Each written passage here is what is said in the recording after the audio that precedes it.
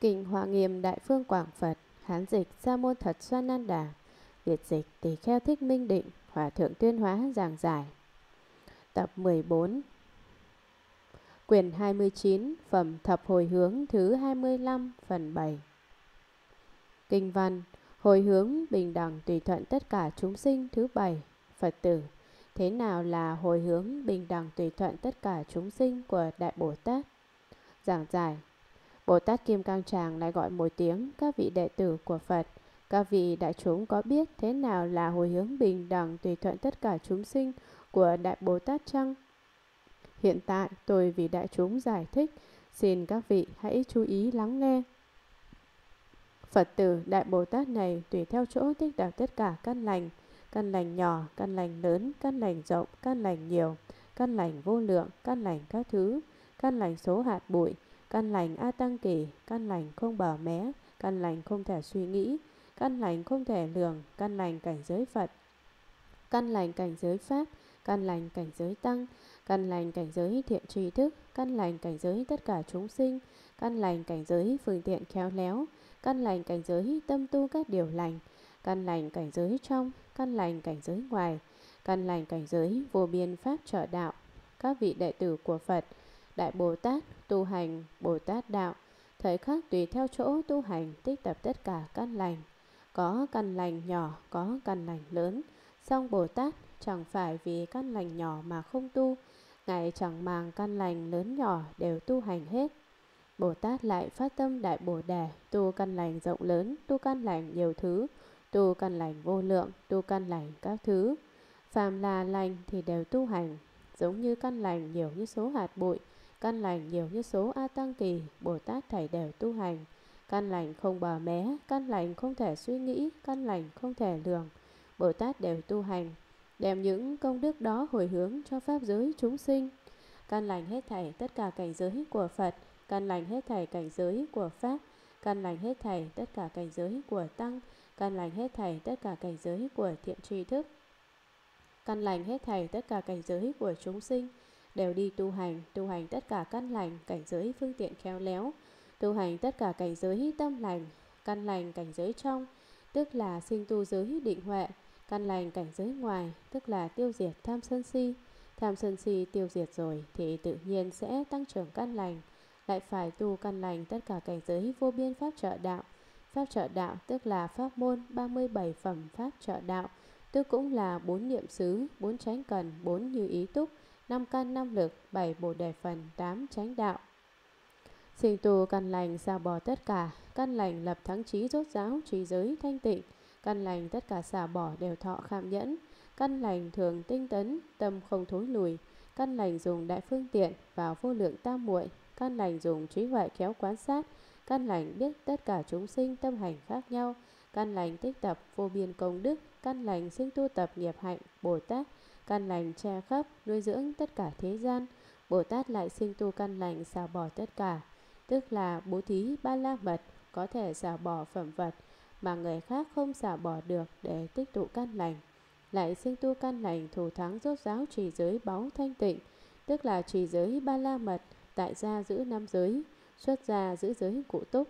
Đại sinh tu căn lành tất cả đều xả, chẳng có gì mà không thể kham nhẫn, tức là nhẫn nhục ba la mật, bất cứ những việc gì không như ý đều tiếp thọ nhẫn nhục, lại sinh tu căn lành thường tinh tấn, tâm không thối truyền, tức là tinh tấn ba la mật, ngày tinh tấn, đêm tinh tấn, thần tinh tấn, tâm tinh tấn. Tóm lại, lúc nào cũng tinh tấn, chẳng có sự giải đãi. Lại sinh tu căn lành pháp môn đại phương tiện và vô lượng tam muội, tức là thiền định ba la mật, lại sinh tu căn lành trí huệ, kéo quan sát tất cả nhân duyên, tức là bát nhã ba la mật, đó là pháp môn lục độ đến bờ kia. Bồ Tát biết căn lành tư tưởng và hành vi khác nhau của tất cả chúng sinh. Chúng sinh nghĩ gì làm gì, Bồ Tát đều hoàn toàn thấu rõ. Tại sao? Vì Bồ Tát có tha tâm thông, tu hành căn lành tích tập vô biên công đức, sinh tu học tập căn lành Bồ Tát hạnh của Bồ Tát tu, sinh tu căn lành tra khắp nuôi dưỡng tất cả thế gian. Bồ Tát tu đủ thứ những căn lành đó vì chúng sinh hồi hướng. Phật tử khi Đại Bồ Tát ở nơi căn lành này, tu hành an trụ nhập vào nhiếp thọ, tích tập biện đủ ngộ hiểu, tâm tịnh, Khai thị phát khỏi thì được tâm kham nhẫn, đóng bít cửa đường ác, khéo nhiếp các căn đầy đủ oai nghi, xa đỉa điên đảo, tránh hạnh viên mãn, kham làm pháp khí của tất cả chư Phật, làm ruộng phước đức tốt của chúng sinh được Phật nghĩ nhớ, lớn căn lành Phật, trụ nơi nguyện của chư Phật, thực hành nghiệp của chư Phật, tâm được tự tại đồng với chư Phật ba đời, hướng về đạo tràng của Phật và sức lực của Như Lai, đủ sắc tướng của Phật vượt khỏi các thế gian, chẳng thích sinh về trời, chẳng tham phước lạc, chẳng chấp các hành, tất cả các lành, đều đem hồi hướng. Các vị đệ tử của Phật, Đại Bồ Tát tu hành Bồ Tát Đạo đối với đủ thứ căn lành như đã nói ở trước, đều tu hành được, an trụ ở trong căn lành, hướng nhập vào căn lành, nhiếp thọ căn lành, tích tập căn lành, biện đủ căn lành, ngộ hiểu căn lành, tâm tịnh căn lành, khai thị căn lành.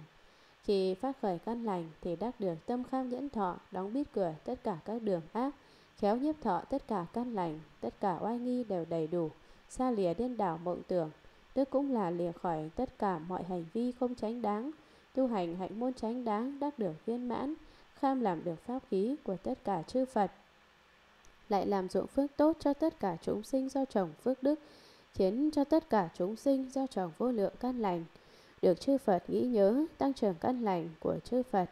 trụ nơi đại nguyện của chư Phật, thực hành nghiệp lành của chư Phật, trong tâm đắc được tự tại đồng với niềm vui của tất cả chư Phật ba đời.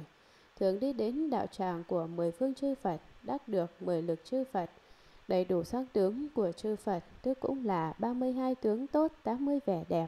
vượt khỏi tất cả tướng tốt thế gian, chẳng nguyện sinh về cõi trời hưởng phước trời, chẳng tham phú quý của thế gian, chẳng chấp trước vào tất cả hạnh, đem tất cả căn lành tu tập đều vì chúng sinh hồi hướng, khiến cho họ liệp khổ được vui, đó mới là tinh thần của Bồ Tát.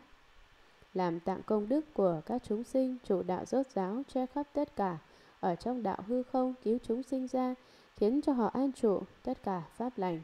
khắp các cảnh giới không dứt, không hết được, khai mở tất cả cửa trí Bồ Đề, kiến lập tràng trí huệ nghiêm tịnh đại đạo, thị hiện khắp tất cả thế gian, khiến trừ cấu nhiễm, tâm khéo điều phục, sinh nhà như lai, thanh tịnh giống tánh Phật, công đức đầy đủ, làm dụng phước lớn, làm nơi nương tựa của thế gian, an lập chúng sinh, đều khiến cho thanh tịnh, thường xuyên tu tập tất cả căn lành. Bồ Tát làm bảo tạng công đức của tất cả chúng sinh, trụ nơi đạo rốt giáo, che hộ khắp tất cả chúng sinh, ở trong đạo hư không cứu vớt chúng sinh ra, khiến cho tất cả chúng sinh an trụ ở trong pháp lành, khắp cùng tất cả cảnh giới chẳng có gián đoạn chẳng hết được, khai mở tất cả cửa trí huệ bồ đề, kiến lập tràng trí huệ, trang nghiêm thanh tịnh tất cả đạo tràng lớn, khắp thị hiện trong ngàn ước hóa thân trong tất cả thế gian, khiến cho chúng sinh trừ sạch tất cả tư tưởng trần cấu và nhiễm ô, tâm khéo điều phục tất cả vọng tưởng sinh vào trong nhà Phật, thanh tịnh giống tánh Phật, công đức đó đầy đủ viên mãn, làm dụng phước lớn nhất của chúng sinh, làm chỗ nương tựa của chúng sinh thế gian, khiến cho tất cả chúng sinh được bình an, có thể tự lập được, khiến cho tâm của tất cả chúng sinh đều thanh tịnh, không nhiễm, luôn siêng tu học hết thảy tất cả căn lành. Phật tử, Đại Bồ Tát dùng sức trí nguyện thanh tịnh tâm Bồ Đề, khi tu các căn lành thì nghĩ như vậy. Các căn lành này tích tập từ tâm Bồ Đề, suy ngẫm từ tâm Bồ Đề, phát khởi từ tâm Bồ Đề, trí thích từ tâm Bồ Đề, tăng ích từ tâm Bồ Đề, đều là thương xót tất cả chúng sinh, đều hướng về cầu nhất thiết trùng trí, đều thành tựu mười lực của Như Lai. Khi nghĩ như thế thì căn lành tăng thêm, vĩnh viễn không thối chuyển. Các vị đệ tử của Phật thì Đại Bồ Tát tu hành Bồ Tát Đạo, dùng sức trí nguyện thanh tịnh và tâm Bồ Đề, tu hành tất cả căn lành thì quán tưởng như vậy. Tất cả căn lành này đều do phát tâm Bồ Đề tích tập mà có, đều do phát tâm Bồ Đề suy ngẫm mà có đủ thứ căn lành này là do phát tâm Bồ Đề tu hành, là từ tâm Bồ Đề lập trí nguyện và cầu sự an vui, là từ tâm Bồ Đề tăng thêm lợi ích. Tại sao phải phát tâm Bồ Đề? Vì thương xót chúng sinh khổ, cứu vớt chúng sinh khổ cho nên mới phát tâm Bồ Đề. Vì hướng về cầu nhất thiết trùng trí, vì thành tựu mười lực của Phật cho nên mới phát tâm Bồ Đề. Tâm Bồ Đề là gì? Nói đơn giản là trên cầu Phật đạo dưới độ chúng sinh. Người tu hành không phát tâm Bồ Đề giống như hoa nở mà không kết trái, chẳng có ích gì. Khi Bồ Tát nghĩ tưởng như thế thì căn lành lại tăng thêm rất nhiều. Bất cứ Bồ Tát gặp khốn khổ hoạn nạn gì, vĩnh viễn không bao giờ thối chuyển tâm Bồ Đề. Tâm Bồ Đề vững chắc như kim cang, thiên ma ngoài đạo không thể phá hoại được. Phật tử Đại Bồ Tát lại nghĩ như vậy. Nguyện cho tôi dùng căn lành quả báo này hết kiếp thuộc vị lai tu hạnh Bồ Tát, đều đem bố thí cho tất cả chúng sinh, đều đem hồi hướng cho tất cả chúng sinh, khắp cùng không thừa sót. Các vị đệ tử của Phật, Đại Bồ Tát tu hành Bồ Tát Đạo lại nghĩ tưởng như vậy. Tôi nguyện dùng căn lành và quả báo này hết kiếp thuộc vị lai tu hành hạnh môn Bồ Tát, đem căn lành tu được, thầy đều hồi hướng cho tất cả chúng sinh, hoàn toàn hồi hướng cho tất cả chúng sinh, lợi ích khắp hết cho tất cả chúng sinh, khiến cho chẳng có một chúng sinh nào không được hồi hướng căn lành này. Cho nên nói, khắp hết không thừa sót.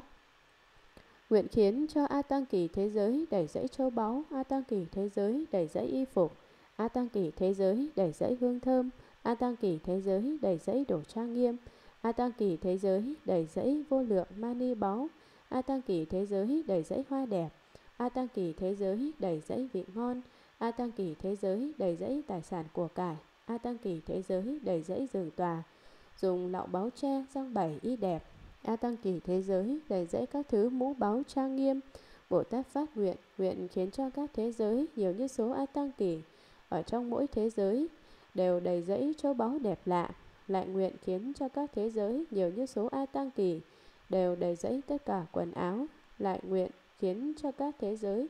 nhiều như số A Tăng Kỳ đều đầy dãy tất cả hương thơm. Lại nguyện khiến cho các thế giới nhiều như số A Tăng Kỳ đều đầy dẫy đồ trang nghiêm lại nguyện khiến cho các thế giới nhiều như số A Tăng Kỳ, đầy dẫy tất cả hoa đẹp. Lại nguyện khiến cho các thế giới nhiều như số A Tăng Kỳ, đầy dẫy tất cả vị ngon thượng hạng. Lại nguyện khiến cho các thế giới nhiều như số A Tăng Kỳ, đầy dẫy tất cả tài sản và của cải. Lại nguyện khiến cho các thế giới nhiều như số A Tăng Kỳ, đầy dẫy giường báu và tòa báu ở trên giường báu có lọng trướng, báu tre. Lại trên tòa báu có y đẹp răng bày lại nguyện khiến cho các thế giới nhiều như số A Tăng Kỳ để dễ các thứ mũ báu trang nghiêm. Giả sử một người thường đến chỗ Bồ Tát cầu xin hết thuộc kiếp vị lai, Bồ Tát đem các vật đó bố thí cho họ, chưa từng nhà mỏi, không ngừng nghỉ. Như nơi một người, tất cả chúng sinh cũng đều như vậy. Giả sử có người từ bây giờ cho đến hết thuộc kiếp vị lai, thường đến chỗ Bồ Tát cầu xin, Bồ Tát đem các phẩm vật như đã nói ở trên bố thí cho họ, chơi từng nhà mỏi vĩnh viễn không dừng nghỉ. Đối với một chúng sinh bố thí như thế, cho đến tất cả chúng sinh cũng đều bố thí như thế, tuyệt đối tâm không nhàm mỏi. Phật tử khi Đại Bồ Tát bố thí như vậy, thì không có tâm hư dối, không có tâm hy vọng, không có tâm danh dự, không có tâm hối tiếc, không có tâm nhiệt não, chỉ phát tâm chuyên cầu nhất thiết trí, tâm xả bỏ tất cả, tâm thương xót chúng sinh, tâm giáo hóa thành thủ đều khiến an trụ tâm nhất thiết trí. Phật tử Đại Bồ Tát đem các căn lành hồi hướng như vậy, hết kiếp thủa vị lai thượng hành bố thí, tâm trụ nhất thiết trí. Các vị đệ tử của Phật, Đại Bồ Tát tu Bồ Tát Đạo thì bố thí như vậy, thì dụng tâm chân thật để bố thí, tuyệt đối chẳng có chút tâm hư dối, cũng chẳng hy vọng tương lai đắc được lợi ích gì mới bố thí, cũng chẳng mưu đồ được danh dự tốt mới bố thí. Bố thí rồi chẳng sinh tâm hối tiếc, chẳng sinh tâm phiền não, lúc nào cũng an vui, do đó làm lành vui nhất. Tại sao đem căn lành để hồi hướng? Vì đạo tâm chuyên cầu nhất thiết trí huệ, tâm từ bố thí tất cả, tâm thương xót tất cả chúng sinh, tâm giáo hóa thành thục tất cả chúng sinh, khiến cho tâm trí của tất cả chúng sinh an trụ nơi nhất thiết trí huệ. Phật tử Đại Bồ Tát lại nghĩ như vậy. Tôi vì tất cả chúng sinh muốn khiến cho A Tăng Kỳ thế giới đầy dẫy voi báu, đầy đủ bày chi, tánh rất điều thuận, trên lưng bày tràng bằng vàng, che lưới vàng, trang nghiêm các thứ báu dùng để bố thí. Nguyện khiến cho A Tăng Kỳ thế giới đầy dãy ngựa báu như Long Mã Vương. Dùng đủ đồ trang nghiêm châu báu để nghiêm sức, dùng để bố thí. Nguyện khiến cho A Tăng Kỳ thế giới đầy dãy kỹ nữ, đều có thể tấu diễn các thứ âm nhạc hay dùng để bố thí. Nguyện khiến cho A Tăng Kỳ thế giới đầy dãy nam nữ dùng để bố thí. Các vị đệ tử của Phật, Đại Bồ Tát, tu hành Bồ Tát Đạo lại nghĩ như vậy. Tôi vì tất cả chúng sinh nguyện khiến A Tăng Kỳ thế giới đều đầy dẫy voi báu, voi báu đó đầy đủ bảy chi, đều đầy đủ sung mãn, tánh tình rất nhu hòa, điều thuận. Trên lưng voi báu bầy tràng bằng vàng, lấy vàng che phía trên, dùng đủ thứ báu đẹp để tra nghiêm, dùng để bố thí cho chúng sinh, Nguyện khiến cho A Tăng Kỳ thế giới đầy rẫy ngựa báu, ngựa báu dũng mãnh giống như Long Mã Vương, dùng đủ thứ đồ trang nghiêm báu đẹp để nghiêm sức con ngựa báu đó, dùng để bố thí cho tất cả chúng sinh. Nguyện khiến cho A Tăng Kỳ thế giới đầy rẫy kỹ nữ, đều có thể diễn tấu đủ thứ âm nhạc hay dùng để bố thí cho tất cả chúng sinh. Nguyện khiến cho A Tăng Kỳ thế giới đầy rẫy nam nữ, để bố thí cho tất cả chúng sinh. Bồ Tát làm mãn nguyện tâm tất cả chúng sinh, do đó trước hết dùng câu dục móc, sau khiến vào trong Phật trí. Cho nên Bồ Tát phát nguyện khiến cho hết thảy thế giới đầy dẫy voi báu, ngựa báu, kỹ nữ, nam nữ, vân vân. Tại sao? Vì bản tánh chúng sinh có nhân tố tham tài, háo sắc, cho nên Bồ Tát dùng tất cả tiền tài châu báu để làm mãn nguyện tâm tham tài của chúng sinh, lại dùng kỹ nữ xinh đẹp để làm mãn nguyện tâm háo sắc của chúng sinh. Vì khiến cho chúng sinh nghe được âm nhạc hay thì lập tức phát tâm Bồ Đề, khiến cho chúng sinh tuy thấy thiếu nữ xinh đẹp biểu diễn ca múa nhưng không sinh tâm dâm dục. Bồ Tát dụng tâm khổ sở mà chúng ta chúng sinh không biết cảm ơn báo đức, thật là một sự việc ăn năn. Nguyện khiến cho A Tăng Kỳ thế giới đầy dẫy thân mình phát tâm Bồ Đề mà đem bố thí. Nguyện khiến cho A Tăng Kỳ thế giới đầy dẫy đầu của mình khởi tâm không phóng dật mà đem bố thí. Nguyện khiến cho A Tăng Kỳ thế giới đầy dẫy mắt của mình mà đem bố thí. Nguyện khiến cho A Tăng Kỳ thế giới đầy dẫy thân máu thịt và xương tủy của mình, tâm chẳng luyến tiếc mà đem bố thí. Nguyện khiến cho A Tăng Kỳ thế giới đầy dẫy ngôi vua tự tại mà đem bố thí. Nguyện khiến cho A Tăng Kỳ thế giới đầy dẫy tôi tớ sai khiến mà đem bố thí. Bồ Tát phát nguyện, nguyện khiến cho A Tăng Kỳ thế giới đầy dẫy thân thể của mình, thân do thần thông biến hóa đó phát tâm Bồ Đề, nguyện đem thân mình bố thí cho chúng sinh cần, lại nguyện khiến cho A Tăng Kỳ thế giới đầy dẫy đầu của mình sinh khỏi tâm không phóng dật, tức cũng là giữ quy cụ, nguyện đem đầu của mình bố thí cho chúng sinh cần, lại nguyện khiến cho A Tăng Kỳ thế giới đầy dẫy con mắt của mình, nguyện đem con mắt của mình bố thí cho chúng sinh cần mà không xẻn tiếc, lại nguyện khiến cho A Tăng Kỳ thế giới đầy dẫy thân máu thịt xương tủy của mình, tâm chẳng luyến tiếc, nguyện đem tất cả những thứ đó bố thí cho chúng sinh cần, lại nguyện khiến cho A Tăng Kỳ thế giới đầy dẫy ngôi vua tự tại, nguyện đem ngôi vua bố thí cho chúng sinh cần, lại nguyện khiến cho A Tăng Kỳ thế giới đầy dẫy tôi tớ sai khiến, nguyện đem họ bố thí cho chúng sinh cần. Đại Bồ Tát đem đủ thứ vật bố thí như vậy, hết kiếp thuở vị lai an trụ tâm rộng lớn bố thí tất cả, bố thí cho một chúng sinh như một chúng sinh, tất cả chúng sinh trong các cõi chúng sinh cũng đều bố thí như vậy. Phật tử, Đại Bồ Tát nơi một thế giới, hết kiếp thuở vị lai, tu hạnh Bồ Tát đem các thứ vật bố thí cho một chúng sinh, với tất cả chúng sinh đều bố thí như vậy, đều khiến cho họ được đầy đủ. Như nơi một thế giới, tận hư không khắp pháp giới, trong tất cả thế giới cũng đều như vậy. Đại Bồ Tát tu hành Bồ Tát đạo, đem đủ thứ vật như vậy, hết kiếp tuổi vị lai, an trụ nơi tâm rộng lớn, bố thí tất cả, bố thí cho một chúng sinh, như với một chúng sinh bố thí như vậy, hết kiếp thừa vị lai, tất cả chúng sinh cũng bố thí như vậy. Bồ Tát tận tâm kiệt sức để tu Bồ Tát đạo, tức là pháp môn bố thí hồi hướng các vị đệ tử của Phật. Đại Bồ Tát tu hành Bồ Tát đạo ở trong một thế giới hết kiếp thổ vị lai, tu hành hạnh môn của Bồ Tát tu, đem đủ thứ phẩm vật như đã nói ở trên bố thí cho một chúng sinh. Giống như vậy, cũng bố thí cho tất cả chúng sinh khiến cho họ đều được đầy đủ. Như trong một thế giới, bố thí như vậy mà tận cùng hư không khắp pháp giới, trong tất cả thế giới cũng đều bố thí như vậy.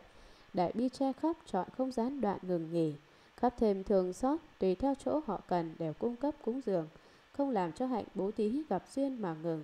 cho đến chừng khải móng tay cũng không sinh tâm mệt mỏi.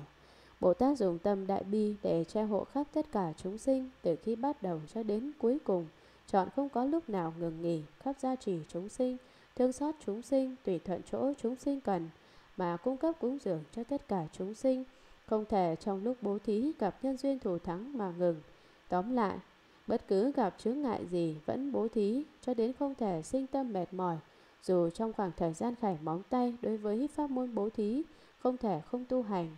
Bồ Tát tu hành Bồ Tát đạo tức là khó làm mà làm được. Ví như có những người làm không được việc đó, xong có vẻ như Ngài cũng làm không được, nhưng Ngài vẫn phải làm, làm hết mình. Tại sao phải nói như vậy? Các vị hãy nhìn xem Đức Phật Thích Ca trong quá khứ, vì độ chúng sinh mà xả thân không tiếc, vì Pháp quên mình. chỉ vì độ chúng sinh lìa khổ được vui trong ba ngàn đại thiên thế giới, đều là nơi xả thân mạng của chư Phật quá khứ hiện tại và vị lai, tận hư không khắp pháp giới, có nước chư Phật mười phương, chẳng có chỗ nào, chẳng có chỗ một hạt bụi nào, mà chẳng phải là nơi chư Phật mười phương ba đời xả thân mạng vì tất cả chúng sinh. Tinh thần hy sinh đó thật là vĩ đại. Chúng ta chúng sinh có đủ thứ sự chấp trước, buông xả chẳng đặng thân tâm, cho nên những chỗ làm đều ích kỷ lợi mình. Điên đảo vọng tưởng một giây cũng không ngừng. Vọng tưởng này qua rồi thì vọng tưởng khác lại đến. Do đó mười phương chư Phật nói chúng ta chúng sinh là đáng thương xót. Phật tử khi Đại Bồ Tát bố thí như vậy thì sinh tâm như vậy, tâm không chấp trước, tâm không ràng buộc, tâm giải thoát, tâm sức mạnh, tâm thâm sâu, tâm khéo nhiếp, tâm không chấp, tâm không thọ mạng, tâm khéo điều phục, tâm không tán loạn, tâm không vọng tính, tâm đủ các thứ bảo tính, tâm không cầu quả báo, tâm thấu đạt tất cả pháp, tâm trụ đại hồi hướng, tâm khéo quyết các nghĩa, tâm khiến tất cả chúng sinh trụ vô thượng trí, tâm sinh đại pháp quang minh, tâm vào nhất thiết trí. Các vị đệ tử của Phật, Đại Bồ Tát tu hành Bồ Tát Đạo khi đem đủ thứ các đồ vật để bố thí, thì sinh ra 19 thứ tâm sau đây. Một tâm không chấp trước, tức là không chấp trước vào nơi tâm, xem tất cả đều không, nhìn xuyên thủng mà chẳng chấp trước. Do đó, như điều hành không, không vô tích, như đao chàm thủy, thủy vô thương. Trong không chẳng có dấu chim bay, cho nên chim bay trong không chẳng lưu lại dấu vết, giống như dùng đao chém nước, nhưng nước không bị thương, đó là hiện tượng tự nhiên, không thể chấp trước. 2. Tâm không ràng buộc, tức là không có sự trói buộc tâm, ràng buộc tức là tự mình ràng buộc mình. Như vậy thì không thể không mà có chỗ nương. Tứ tổ, đạo tín, đại sư đến bái kiến tam tổ tăng sán thiền sư, mở miệng liền cầu giải thoát. Tam tổ hỏi,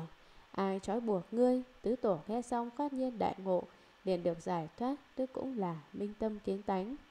3. Tâm giải thoát, tức là tâm tự tại, tức cũng là tâm không ràng buộc. Giải thoát tức là vốn chẳng trụ vào đâu, do đó ưng vô sở trụ, nhi sinh kỳ tâm. 4. Tâm sức lớn, sức lực của tâm phá được tất cả mê hoặc. 5. Tâm thâm sâu, tức là tâm bồ đề. 6. Tâm khéo nhiếp, tâm khéo nhiếp thọ tất cả chúng sinh. 7. Tâm không chấp, tâm chẳng có mọi sự chấp trước. 8. Tâm không thọ mạng, không thể nói tôi làm được công đức gì, có quả báo thọ mạng, thọ mạng gì. Bồ Tát chẳng có những tư tưởng đó, chỉ biết nghĩ đến lợi ích của tất cả chúng sinh mà quên đi sự tồn tại của mình. 9. Tâm khéo điều phục Bồ Tát khéo điều phục cuồng tâm giã tính của mình khi vọng tưởng sinh ra, lập tức điều phục nó, khiến cho nó không khởi tác dụng, không thể nổi sóng làm gió, hàng phục tâm căng cường, tâm sân hận, tâm không thể nhẫn nại. Lúc đó trong tâm một chút phiền não cũng chẳng có, không phạm giới luật. Tâm khéo điều phục, tức là tâm khéo nhẫn nại. Bất cứ chúng ta gặp sự việc gì đều phải có tâm nhẫn nại. Tâm nhẫn nại này là chịu cực chịu oán, chịu cực là khổ cực cũng phải nhẫn nại, chịu oán là oán hận cũng phải nhẫn nại. Ví như có người ác ý phê bình bạn bấy đông tìm vết, nói thế này cũng không đúng, thế kia cũng không đúng. Tóm lại, nói mỗi cử chỉ hành động của bạn đều sai lầm. Lúc đó mình phải hồi quang phản chiếu, nếu thật là mình sai thì phải sửa đổi, nếu không sai thì phải nhẫn nại, đừng nổi giận. Người tu hành phải có công phu nhẫn nại cũng là con đường phải đi qua, tức là khảo nghiệm định lực của mình có đủ hay không truyền được cảnh giới hoặc là bị cảnh giới truyền. 10. Tâm không tán loạn, tức là tâm định. Nếu tâm loạn thì tinh thần chẳng tập trung, vọng tưởng lăng xăng, vậy thì chẳng có công phu thiền định. 11. Tâm không vọng tính, tức là tâm không vọng cầu. Do đó, vật tham ý ngoại chi tài, phàm là tài vật không hợp nghĩa, không thể tham lấy. Nếu như bất chấp thủ đoạn lấy tài vật của người khác thì đó là tâm vọng tính. 12. Tâm đủ các thứ bảo tính, tức là Phật tính, Pháp tính, Tăng tính, tâm đầy đủ những bảo tính này. 13. Tâm chẳng cầu quả báo, hiện tại tôi bố thí, tương lai sẽ được những quả báo gì? Tâm chẳng cầu những thứ này. 14. Tâm thấu đạt tất cả Pháp, tâm thấu rõ thông đạt tất cả các Pháp thật tướng, đạo lý chân không diệu hữu, trung đạo liễu nghĩa. 15. Tâm trụ đại hồi hướng, thường tu công đức đại hồi hướng. 16. Tâm khéo quyết các nghĩa, khéo quyết rõ tất cả kinh nghĩa, bất cứ nghĩa lý gì, nhìn là biết mà còn quyết định được nghĩa lý của nó như thế nào. 17. Tâm khiến tất cả chúng sinh trụ vô thượng trí. Tâm khiến cho tất cả chúng sinh đều đắc được trí huệ vô thượng. 18. Tâm sinh đại pháp quang minh. Tâm sinh một thứ pháp căn bản, tức là trí huệ quang minh. 19. Tâm vào nhất thiết trí, tức là tâm trí huệ vào được trong nhất thiết trí huệ. Phật tử Đại Bồ Tát đem căn lành đã tu tập. Trong mỗi niệm hồi hướng như vậy, nguyện cho tất cả chúng sinh đầy đủ tiền tài châu báu không bị thiếu thốn. Nguyện cho tất cả chúng sinh thành tựu vô tận đại công đức tạng. Nguyện cho tất cả chúng sinh đầy đủ tất cả an ổn khoái lạc. Nguyện cho tất cả chúng sinh, tăng trưởng nghiệp của Đại Bồ Tát. Nguyện cho tất cả chúng sinh, thành tựu viên mãn vô lượng pháp thủ thắng bậc nhất. Nguyện cho tất cả chúng sinh thừa nhất thiết trí không thối chuyển. Nguyện cho tất cả chúng sinh thấy khắp chư Phật trong mười phương. Nguyện cho tất cả chúng sinh vĩnh viễn ra lìa các hoặc trần cấu của thế gian. Nguyện cho tất cả chúng sinh đều được tâm thanh tịnh bình đẳng. Nguyện cho tất cả chúng sinh lìa các xứ nạn đắc được nhất thiết trí. Các vị đệ tử của Phật, Đại Bồ Tát tu hành Bồ Tát Đạo đem căn lành tích tập trong mỗi niệm đều hồi hướng cho chúng sinh, phát ra mười thứ tâm nguyện.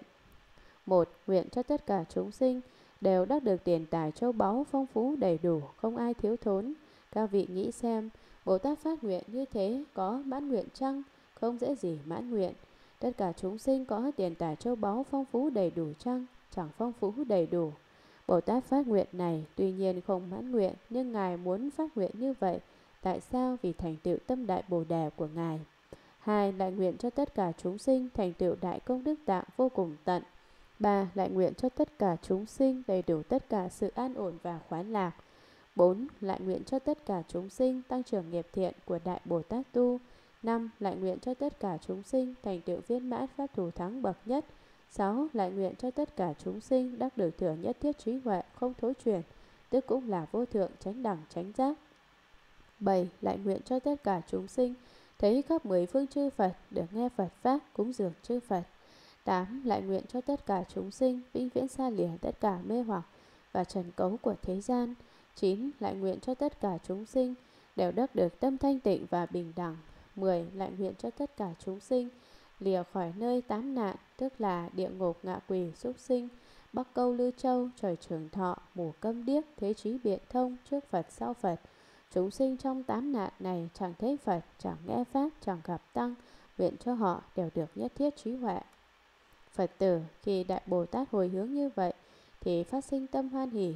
Bồ Tát Kim Cang Tràng lại gọi một tiếng các vị đệ tử của Phật.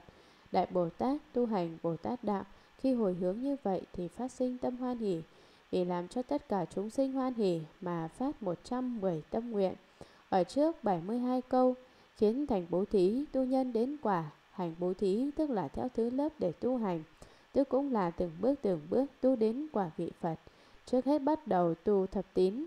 trải qua thập trụ, thập hạnh, thập hồi hướng, thập địa, đẳng giác mà đến diệu giác Phật vị. Ở sau 38 câu khiến thành viên dung, nhân quả viên mãn. Viên dung tức là lúc ban đầu Bồ Tát phát tâm, liền thành tránh giác, tức cũng là bậc tin ban đầu phát tâm Bồ đà nên đến quả vị diệu giác. Tại sao phải như thế? Vì lúc tại nhân địa đã tu thành viên mãn thập tín và 51 bậc, cho nên khi đến quả địa thì một khi chứng liền thành Phật. Do đó hành bố thí không ngại viên dung, viên dung không ngại hành bố thí. Hai vô ngại này là ý nghĩa của hồi hướng vì khiến cho tất cả chúng sinh được lợi ích an lạc, vì khiến cho tất cả chúng sinh được tâm bình đẳng, vì khiến cho tất cả chúng sinh trụ nơi tâm xả được, vì khiến cho tất cả chúng sinh trụ tâm bố thí tất cả, vì khiến cho tất cả chúng sinh trụ tâm hoan hỷ bố thí, vì khiến cho tất cả chúng sinh trụ tâm bố thí vĩnh viễn lìa bần cùng, vì khiến cho tất cả chúng sinh trụ tâm bố thí tất cả tiền tài châu báu, vì khiến cho tất cả chúng sinh trụ tâm bố thí vô số tiền tài châu báu, vì khiến cho tất cả chúng sinh trụ tâm bố thí khắp, bố thí vô lượng, bố thí tất cả. Vì khiến cho tất cả chúng sinh trụ tâm bố thí hết kiếp thuở vị lai không dứt.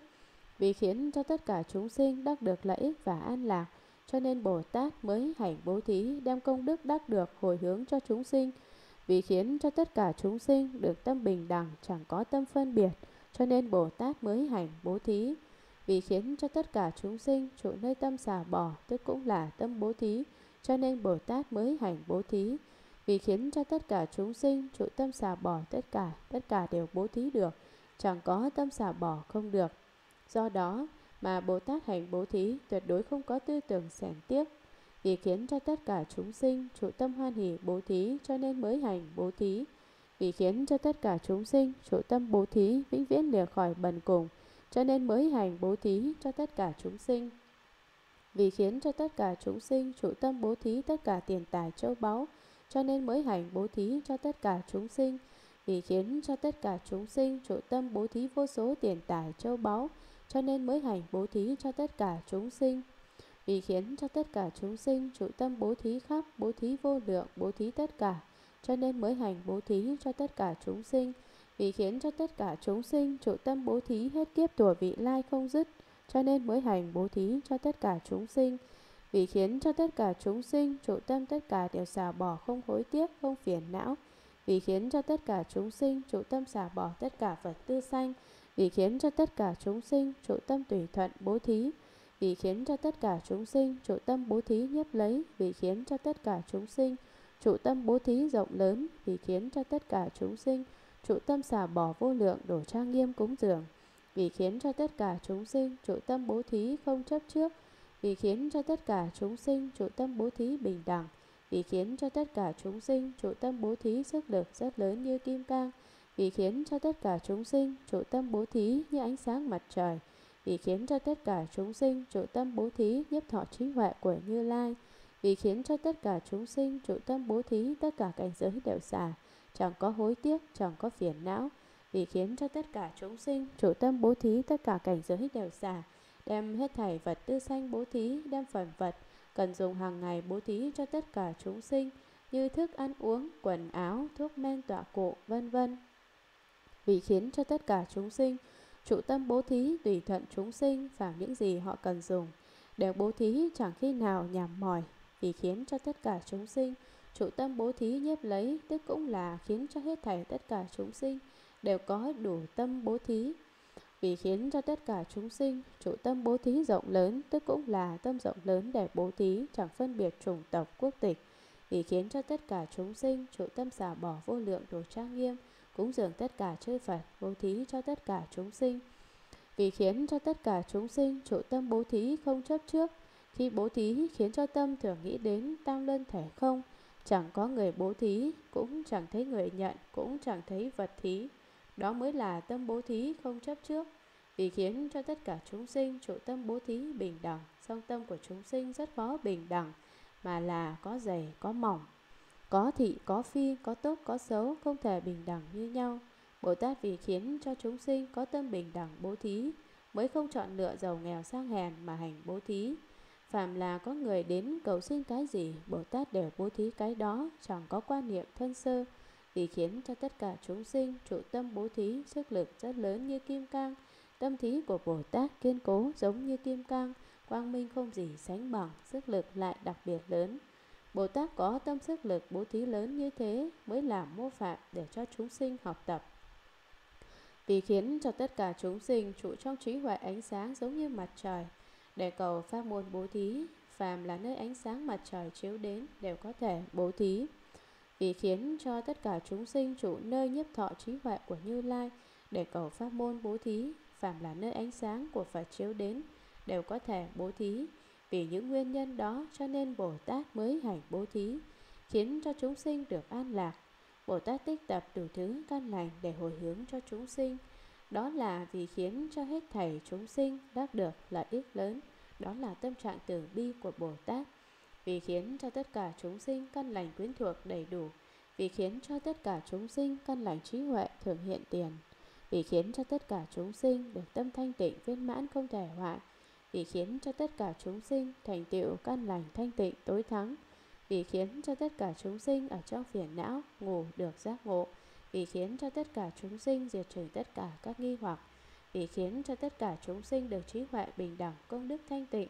vì khiến cho tất cả chúng sinh công đức viên mãn không ai phá hoại được, vì khiến cho tất cả chúng sinh đầy đủ tam muội thanh tịnh bất động, vì khiến cho tất cả chúng sinh trụ nơi nhất thiết trí không thể hoại, vì khiến cho tất cả chúng sinh căn lành quyến thuộc đầy đủ, gia đình hòa thuận an vui, chẳng có sự việc tranh chấp gì xảy ra, vì khiến cho tất cả chúng sinh căn lành trí huệ thường hiện tiền. Có trí huệ rồi mới có thể học tập Phật Pháp, bằng không chẳng có sự thành tựu. Vì khiến cho tất cả chúng sinh đắc được tâm thanh tịnh viên mãn không thể hoại, vì khiến cho tất cả chúng sinh thành tựu căn lành thanh tịnh tối thủ thắng, vì khiến cho tất cả chúng sinh ở trong phiền não ngủ đắc được sự giác ngộ. Người ngu si thường sinh phiền não, tại sao? Vì bị vô minh mê hoặc, nếu đắc được trí huệ thanh tịnh, thì giác ngộ vô minh là gốc của phiền não. Mà tìm cách trừ diệt vô minh thì không còn phiền não vì khiến cho tất cả chúng sinh diệt trừ tất cả hoài nghi và mê hoặc, tức là đến được tâm tin chân chánh, giác ngộ chân chánh thì khôi phục được bản lai diện mục. Vì khiến cho tất cả chúng sinh đắc được trí huệ bình đẳng, công đức thanh tịnh. Tóm lại trí huệ và công đức đều phải thanh tịnh, đều phải bình đẳng mới gọi là toàn nhân hoặc tiêu chuẩn vì khiến cho tất cả chúng sinh hết thảy công đức đều viên mãn, chẳng có ai phá hoại được, vì khiến cho tất cả chúng sinh đầy đủ định lực thanh tịnh bất động. Định thanh tịnh là do ngồi thiền mà được, bất cứ thấy cảnh giới gì cũng chẳng động tâm, do đó núi thái đổ trước mắt mà không sợ, người đẹp trước mắt tâm chẳng động. Đạt đến trình độ này thì sẽ chuyển cảnh giới được, chẳng bị cảnh giới chuyển,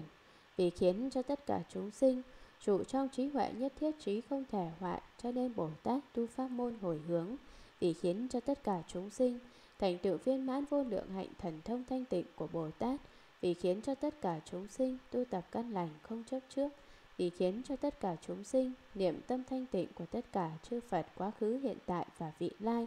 Vì khiến cho tất cả chúng sinh sinh căn lành thanh tịnh thổ thắng, Vì khiến cho tất cả chúng sinh diệt trừ tất cả nghiệp ma làm chứng đạo Pháp vì khiến cho tất cả chúng sinh đầy đủ pháp công đức thanh tịnh bình đẳng vô ngại, vì khiến cho tất cả chúng sinh dùng tâm rộng lớn niệm chư Phật không giải đãi, vì khiến cho tất cả chúng sinh thường gần gũi chư Phật siêng năng cúng dường, vì khiến cho tất cả chúng sinh rộng mở tất cả cửa căn lành, khắp viên mãn pháp trắng tịnh, vì khiến cho tất cả chúng sinh tâm vô lượng, tâm rộng lớn, tâm tối thắng đều thanh tịnh,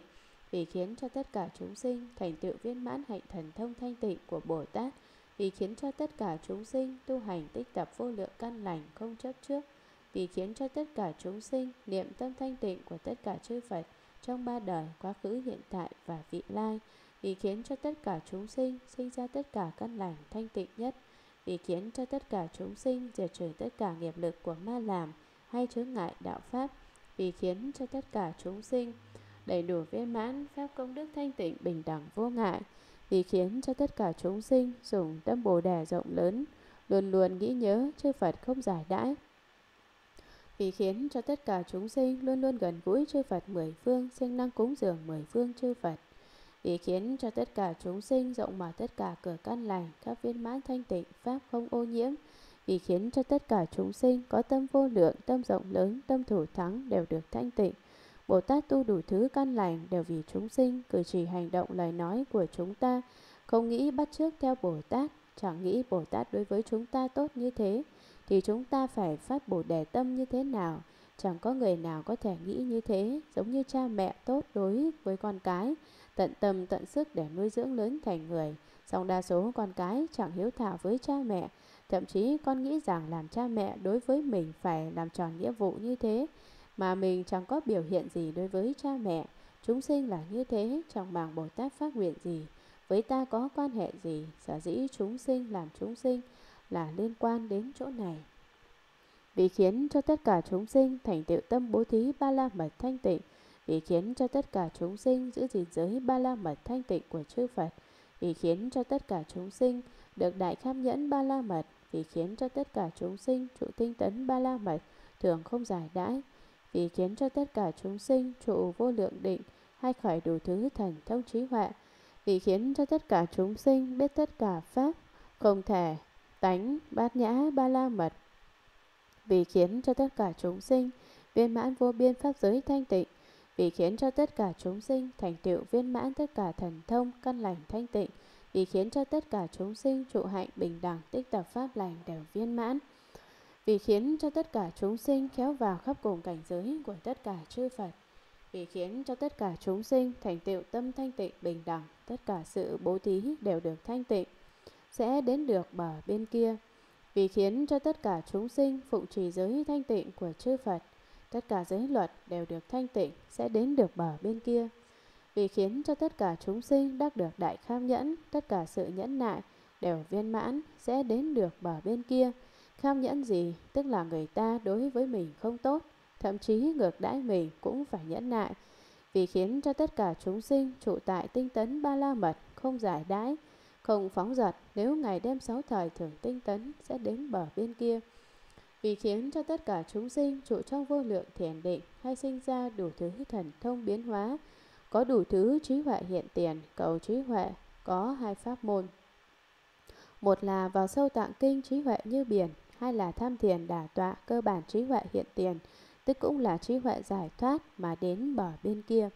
vì khiến cho tất cả chúng sinh biết tất cả các pháp vốn chẳng có tự tính, tướng thường tự vắng lặng, đắc được trí huệ bát nhã chẳng phải là trí huệ thế trí biện thông mới chiếu rõ thật tướng các pháp đến được bờ bên kia, vì khiến cho tất cả chúng sinh viên mãn vô lượng vô biên pháp giới đều đắc được thanh tịnh. Chúng ta ở trong pháp giới giống như một hạt bụi, chẳng những con người giống như hạt bụi mà thế giới cũng như thế. Pháp giới có bốn tướng thành trụ hoại không, Lúc thành thì thành tựu từng chút từng chút, lúc trụ thì loại người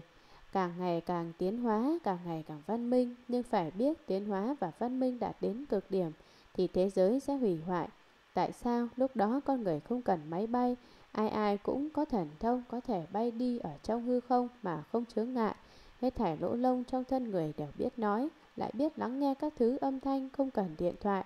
Bất cứ hai người cách xa bao nhiêu, đó đây đều nói chuyện với nhau giống như ở trước mặt. Đến được trình độ này thì trái đất tự nhiên sẽ chẳng còn nữa. Đây là đạo lý gì? Vì bí mật của vũ trụ đã bị lộ ra, chẳng cách chi sinh tồn cho nên sẽ hủy diệt.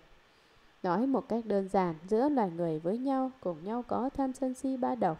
Vì có ba độc cho nên tạo ra khí độc đầy dãy hư không. Hư không bị nhiễm ô không thanh khiết, con người hít vào thì từ từ trúng độc, tự nhiên sẽ khiến cho nhân loại tuyệt chủng. Đó cũng giống như trái đất hủy diệt.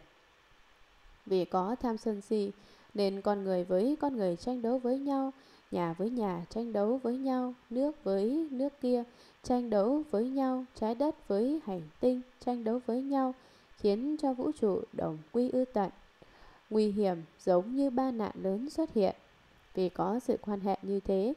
cho nên pháp giới không thanh tịnh. Họa may có Bồ Tát phát nguyện khiến cho pháp giới không bị hủy hoại, mà còn viên mãn lại thanh tịnh, biến hóa tất cả khí xấu thành cát tường, vì khiến cho tất cả chúng sinh thành tựu viên mãn tất cả thần thông. Làm thế nào có thần thông, trước hết phải siêng tu giới định huệ, tu đến lúc viên mãn, thì sẽ diệt trừ hết tham sân si. Lúc đó liền đầy đủ cảnh giới sáu thần thông, sẽ biết thần thông là do căn lành thanh tịnh thành tựu, vì khiến cho tất cả chúng sinh trụ nơi hạnh bình đẳng, tu hành đủ thứ căn lành, tích tập viên mãn, hồi hướng cho chúng sinh, vì khiến cho tất cả chúng sinh kéo vào trong cảnh giới của mười phương chư Phật, thảy đều khắp cùng vào cảnh giới một vị Phật, tức là vào cảnh giới của tất cả chư Phật. Do đó, một làm vô lượng, vô lượng làm một, đó là cảnh giới viên dung vô ngại của Kinh Hoa Nghiêm. Vì khiến cho tất cả chúng sinh thân miệng ý nghiệp đều thanh tịnh, vì khiến cho tất cả chúng sinh nghiệp thiện quả báo đều thanh tịnh, vì khiến cho tất cả chúng sinh thấu đạt các pháp đều thanh tịnh, vì khiến cho tất cả chúng sinh thấu đạt thật nghĩa đều thanh tịnh, vì khiến cho tất cả chúng sinh tu tất cả hạnh thù thắng đều thanh tịnh, vì khiến cho tất cả chúng sinh thành tựu tất cả nguyện lớn của Bồ Tát đều thanh tịnh, vì khiến cho tất cả chúng sinh chứng được tất cả công đức trí huệ đều thanh tịnh, vì khiến cho tất cả chúng sinh thành tựu tất cả đồng thể căn lành, hồi hướng sinh ra thừa nhất thiết trí đều viên mãn, vì khiến cho tất cả chúng sinh trang nghiêm thanh tịnh, tất cả cõi nước chư Phật đều viên mãn, vì khiến cho tất cả chúng sinh thấy tất cả chư Phật mà chẳng chấp trước đều viên mãn, vì khiến cho tất cả chúng sinh thân miệng ý ba nghiệp đều được thanh tịnh, thân nghiệp thanh tịnh thì chẳng sát sinh trộm cắp tà dâm, miệng thanh tịnh thì chẳng nói dối, nói theo rẻ, nói hai lưỡi, chửi mắng, ý thanh tịnh thì chẳng có tham sân si, Tóm lại ba nghiệp thanh tịnh tức là 10 điều lành, ba nghiệp ô nhiễm là 10 điều ác. Vì khiến cho tất cả chúng sinh nghiệp thiện thanh tịnh quả báo viên mãn, tức cũng là không khởi hoặc không tạo nghiệp, không thọ báo, chẳng có nhân quả báo ứng, học Phật Pháp, Phải tin nhân quả, không thể lầm nhân quả, càng không thể bác không nhân quả. Vì khiến cho tất cả chúng sinh thấu rõ thông đả đạo lý thời tướng của các pháp đều đắc được thanh tịnh. Các vị chú ý học tập Phật Pháp mục đích là cầu trí huệ, phải ngày càng thông minh, không thể ngày càng hồ đồ. Có người càng học càng cống cao, càng tu càng ngã mạn. Đối với bạn hữu, đồng tu biểu hiện ra vẻ ta đây. Những tư tưởng đó không thể được, nếu có những tư tưởng đó thì phải sớm sửa đổi, bằng công thì trong địa ngục sẽ có một phần của bạn. Có người nói kinh văn của Kinh Hoa Nghiêm, nói tới nói lui thật là không có ý nghĩa gì hết. Đó là vì đức hạnh của bạn không đủ, căn lành không thâm sâu, mới có tư tưởng như thế. Nếu nghiệp chướng thanh tịnh, thì lúc nào nghe kinh cũng như uống cam lồ. Tóm lại, người nghe kinh mà ngủ thì tự mình phải hồi quang phản chiếu suy ngẫm tại sao, tất phải có nguyên nhân. Hành vi và tư tưởng của Bồ Tát khác với Phạm Phu chúng ta. Phạm Phu chỉ biết có mình, chẳng biết có người khác. Song Bồ Tát chỉ biết lợi ích chúng sinh, chẳng biết lợi ích chính mình. Phạm Phu cho rằng Bồ Tát quá ngu, có người nói con người không ích kỷ thì trời chu đất diệt. Đó mới là biểu hiện không có tử bi. Người chân chánh học Phật Pháp thì có thể vì Pháp quên mình có tinh thần vô ý thí, vì khiến cho tất cả chúng sinh thấu hiểu thông đạt tất cả nghĩa lý chân thật, thầy đều thanh tịnh, vì khiến cho tất cả chúng sinh, tất cả hạnh thù thắng thảy đều thanh tịnh. Hành vi của chúng ta có lúc hợp lý tức là thanh tịnh, có lúc không hợp lý tức là không thanh tịnh. Thanh tịnh thuộc về pháp trắng tịnh, không thanh tịnh thuộc về pháp nhiễm ô. Hạnh Bồ Tát thì thanh tịnh không nhiễm ô. Tại sao? Vì những gì Bồ Tát tu đều là hạnh thanh tịnh. Vì khiến cho tất cả chúng sinh thành tựu nguyện lớn của Bồ Tát phát ra, nghĩa là lợi ích chúng sinh, khiến cho lìa khỏi biển khổ như bốn thệ nguyện lớn. Chúng sinh vô biên thệ nguyện độ, phiền não vô tận thệ nguyện đoạn, pháp môn vô lượng thệ nguyện học,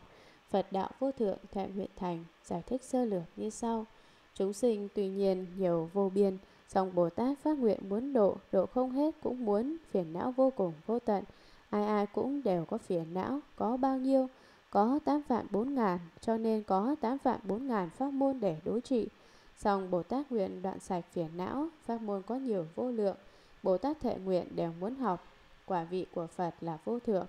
Bồ Tát thệ nguyện thành tựu quả Phật, lời nguyện lớn của Bồ Tát thầy đều thanh tịnh. Vì khiến cho tất cả chúng sinh chứng được tất cả công đức, nhất thiết trí huệ thầy đều được thanh tịnh. Vì khiến cho tất cả chúng sinh thành tựu tất cả căn lành đồng thể, tức cũng là đồng thể đại bi, xem người như mình đó đây chẳng có sự phân biệt. Đem công đức này hồi hướng về thật tế, hồi hướng về Bồ Đề, hồi hướng cho chúng sinh sinh ra thừa nhất thiết trí huệ, thầy đều được viên mãn. Vì khiến cho tất cả chúng sinh trang nghiêm thanh tịnh, tất cả cõi Phật thanh tịnh, thầy đều được viên mãn. Vì khiến cho tất cả chúng sinh thấy được tất cả chư Phật mười phương ba đời, cũng chẳng chấp trước vào Phật, thầy đều được cảnh giới viên mãn. Vì khiến cho tất cả chúng sinh đủ các tướng tốt, công đức trang nghiêm, thầy đều viên mãn. Vì khiến cho tất cả chúng sinh được 16 thứ âm thanh, lời nói ra đều thành thật, đều tin nhận. Dùng trăm ngàn thứ pháp để trang nghiêm viên mãn công đức diệu âm vô ngại của Như Lai, vì khiến cho tất cả chúng sinh thành tựu tâm mười lực trang nghiêm vô ngại bình đẳng, vì khiến cho tất cả chúng sinh được tất cả pháp minh vô tận của Phật, viên mãn tất cả biện tài, vì khiến cho tất cả chúng sinh được bậc đại anh hùng làm sư tử hống, vô thượng vô ý trong loài người, vì khiến cho tất cả chúng sinh được nhất thiết trí, chuyển bánh xe pháp vô tận không thối chuyển, vì khiến cho tất cả chúng sinh thấu rõ tất cả các pháp, mở bài diễn nói thầy đều viên mãn, vì khiến cho tất cả chúng sinh dùng thời gian tu tập pháp lành thanh tịnh, thầy đều viên mãn, vì khiến cho tất cả chúng sinh thành tựu bậc đạo sư vô thượng pháp bảo, bình đẳng thanh tịnh, vì khiến cho tất cả chúng sinh nơi một trang nghiêm, vô lượng trang nghiêm, đại trang nghiêm, chư Phật trang nghiêm, thầy đều viên mãn, vì khiến cho tất cả chúng sinh bình đẳng và khắp cùng hết thảy cảnh giới ba đời. Vì khiến cho tất cả chúng sinh đầy đủ 32 tướng tốt, 80 vẻ đẹp, dùng vô lượng công đức để trang nghiêm thầy đều viên mãn. Vì khiến cho tất cả chúng sinh đắc được 16 thứ âm thanh của Như Lai, lời nói ra đều thành thật, chân thật không hư, khiến mọi người tin nhận, dùng trăm ngàn thứ diệu pháp để trang nghiêm tất cả diệu âm, cùng với công đức diệu âm không chứa ngại của Như Lai đều được viên mãn. Những gì là 16 thứ âm thanh, tức là tiếng lưu trạch, tiếng nhu nhuyến, tiếng duyệt ý, tiếng đáng ưa, tiếng thanh tịnh, tiếng ly cấu, tiếng trong sáng, tiếng ngọt ngào, tiếng thích nghe, tiếng không hèn mọn, tiếng tròn đủ, tiếng điều thuận, tiếng không giết, tiếng không ác, tiếng dịu dàng, tiếng vừa tai, tiếng thích thân, tiếng tâm sinh dũng mãnh, tiếng tâm vui vẻ, tiếng vui thích, tiếng không nhiệt não, tiếng như ra lệnh, tiếng khéo biết rõ, tiếng phân minh, tiếng thiện ái, tiếng khiến sinh hoan hỉ, tiếng khiến họ như ra lệnh, tiếng khiến họ khéo biết rõ, tiếng như lý, tiếng lợi ích, tiếng lìa lỗi lầm trồng chất, tiếng như tiếng sư tử, tiếng như tiếng rồng, tiếng như mây sấm, tiếng như long vương, tiếng như khẩn na la ca hay, tiếng như ca lăng tần già, tiếng như phạm vương, tiếng như chim cộng mạng, tiếng tốt đẹp như trời đế thích, tiếng như tiếng trống, tiếng không cao, tiếng không thấp, tiếng không theo vào tất cả tiếng, tiếng không khuyết giảm, tiếng không phá hoại, tiếng không nhiễm ô, tiếng không hy thủ, tiếng đầy đủ, tiếng trang nghiêm, tiếng hiền bày, tiếng viên mãn tất cả thứ tiếng, tiếng các căn thích hợp, tiếng không phỉ báng, tiếng không khinh chuyển, tiếng không dao động, tiếng tùy nhập tất cả chúng hội, tiếng các tướng đầy đủ, tiếng khiến chúng sinh tâm ý vui vẻ, tiếng nói tâm hạnh chúng sinh, tiếng nhập tâm chúng sinh vui vẻ, tiếng tùy chúng sinh tin hiểu. Tất cả các pháp trên thế giới đều là pháp đối đãi, pháp xuất thế là tuyệt đối, pháp thế gian là tương đối, tương đối là thiện đối với ác, thị đối với phi, âm đối với dương, sáng đối với tối, ngày đối với đêm, tóm lại tất cả với tất cả đều là tương đối. Do đó, không thiện chẳng hiển ác, không nghịch chẳng hiển hiếu, không âm chẳng hiển dương, không thị chẳng hiển phi. Pháp thế gian đều là pháp tương đối. Người tu pháp xuất thế phải vượt khỏi pháp tương đối. Cho nên lục tổ đại sư nói không nghĩ thiện, không nghĩ ác, chính lúc đó mới là bản la diện mục của Thượng Tọa Minh. Đó là vượt khỏi pháp đối đãi. Khi không thiện không ác, tức là pháp tuyệt đối, chúng ta đều chuyển ở trong pháp tương đối. Niệm trước sinh niệm thiện, niệm sau sinh niệm ác, niệm trước sinh niệm phải, niệm sau sinh niệm trái, niệm trước sinh niệm âm, niệm sau sinh niệm dương, niệm trước sinh tránh niệm, niệm sau sinh tà niệm. Nghĩa là tuần hoàn không ngừng, trong pháp đối đãi không thể vượt khỏi ra ngoài số này. Nhưng thiện mà đến cực điểm thì sinh ra niệm ác, ác đến cực điểm thì sinh ra niệm thiện, phải đến cực điểm thì là trái, trái đến cực điểm thì là phải, dương đến cực điểm thì là âm, âm đến cực điểm thì là dương, sáng đến cực điểm thì là tối, tối đến cực điểm thì là sáng, đều biến hóa ở trong pháp tương đối, vạn sự vạn vật, đều đang diễn nói diệu pháp. Bất quá chúng ta bị vô minh che đậy, nhận thức không rõ cảnh giới này, trước sau vẫn trôi nổi ở trong đó, phiêu lưu không ngừng nghỉ. Nếu muốn ngừng lại nơi đối đãi nghiệp quả báo ứng thì phải tu hành hạnh môn không nghĩ thiện, không nghĩ ác. Ở trong Phật Pháp có cảnh giới không thể nghĩ bản xuất hiện. Nếu lìa khỏi Pháp đối đãi thì không cách chi có thể minh bạch nó như thế nào. Có câu chuyện của bà triều quả tướng ở tại Los Angeles. Chồng bà ta là một bác sĩ. Bà ta có một chứng bệnh kỳ lạ. Trong da, ngoài thịt của bà ta nổi lên nhọt xù xì khắp cùng mình. Sáng sớm dậy thì phải hoạt động một lúc mới dậy được. Chồng bà ta chữa cũng không hết. Sau đó bà ta đến Đài Loan tìm danh y chữa trị thì họ nói là bệnh này thuộc về tạp chứng kỳ lạ sử dụng châm cứu để chữa trị. Do đó châm cứu hơn 3 tháng mà không thấy hiệu quả gì cả. Bà ta bèn trở về Mỹ, song hành động rất bất tiện. Lúc đó có người bạn giới thiệu quy y tam bảo, kỳ tích liền xuất hiện.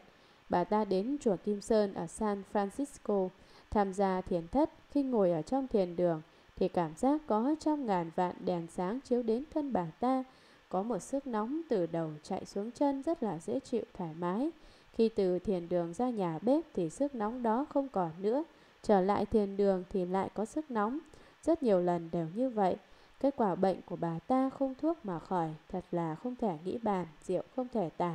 Do đó con người không thể dùng tư tưởng của phàm phu để nghiên cứu nghĩa chân thật của Phật Pháp. Vì khiến cho tất cả chúng sinh thành tựu mười lực của Phật để trang nghiêm thanh tịnh, viên mãn tâm đại tử bi, đại hỷ xả, vô ngại, cho nên Bồ Tát phải tu Bồ Tát đạo, vì khiến cho tất cả chúng sinh đắc được quang minh tạo pháp vô tận của chư Phật, tất cả biện tài vô ngại thầy đều viên mãn vì khiến cho tất cả chúng sinh đắc được quả vị vô thượng, tất cả đều không sợ hãi, là bậc anh hùng trong loài người, lên tòa báu sư tử, làm sư tử hống, diễn nói diệu pháp, giáo hóa chúng sinh, khiến cho họ giác ngộ thế gian, tất cả hết thảy đều là khổ, không, vô thường, vô ngã, vì khiến cho tất cả chúng sinh đắc được nhất thiết trí huệ, thường chuyển bánh xe pháp vô tận không thối chuyển, vì khiến cho tất cả chúng sinh thấu rõ tất cả Phật Pháp, mở bày tất cả Phật Pháp, diễn nói tất cả Phật Pháp thầy đều viên mãn, vì khiến cho tất cả chúng sinh dùng tất cả thời để tu tập Pháp lành thanh tịnh, thầy đều viên mãn. Vì khiến cho tất cả chúng sinh thành tựu đạo sư Pháp bảo vô thượng,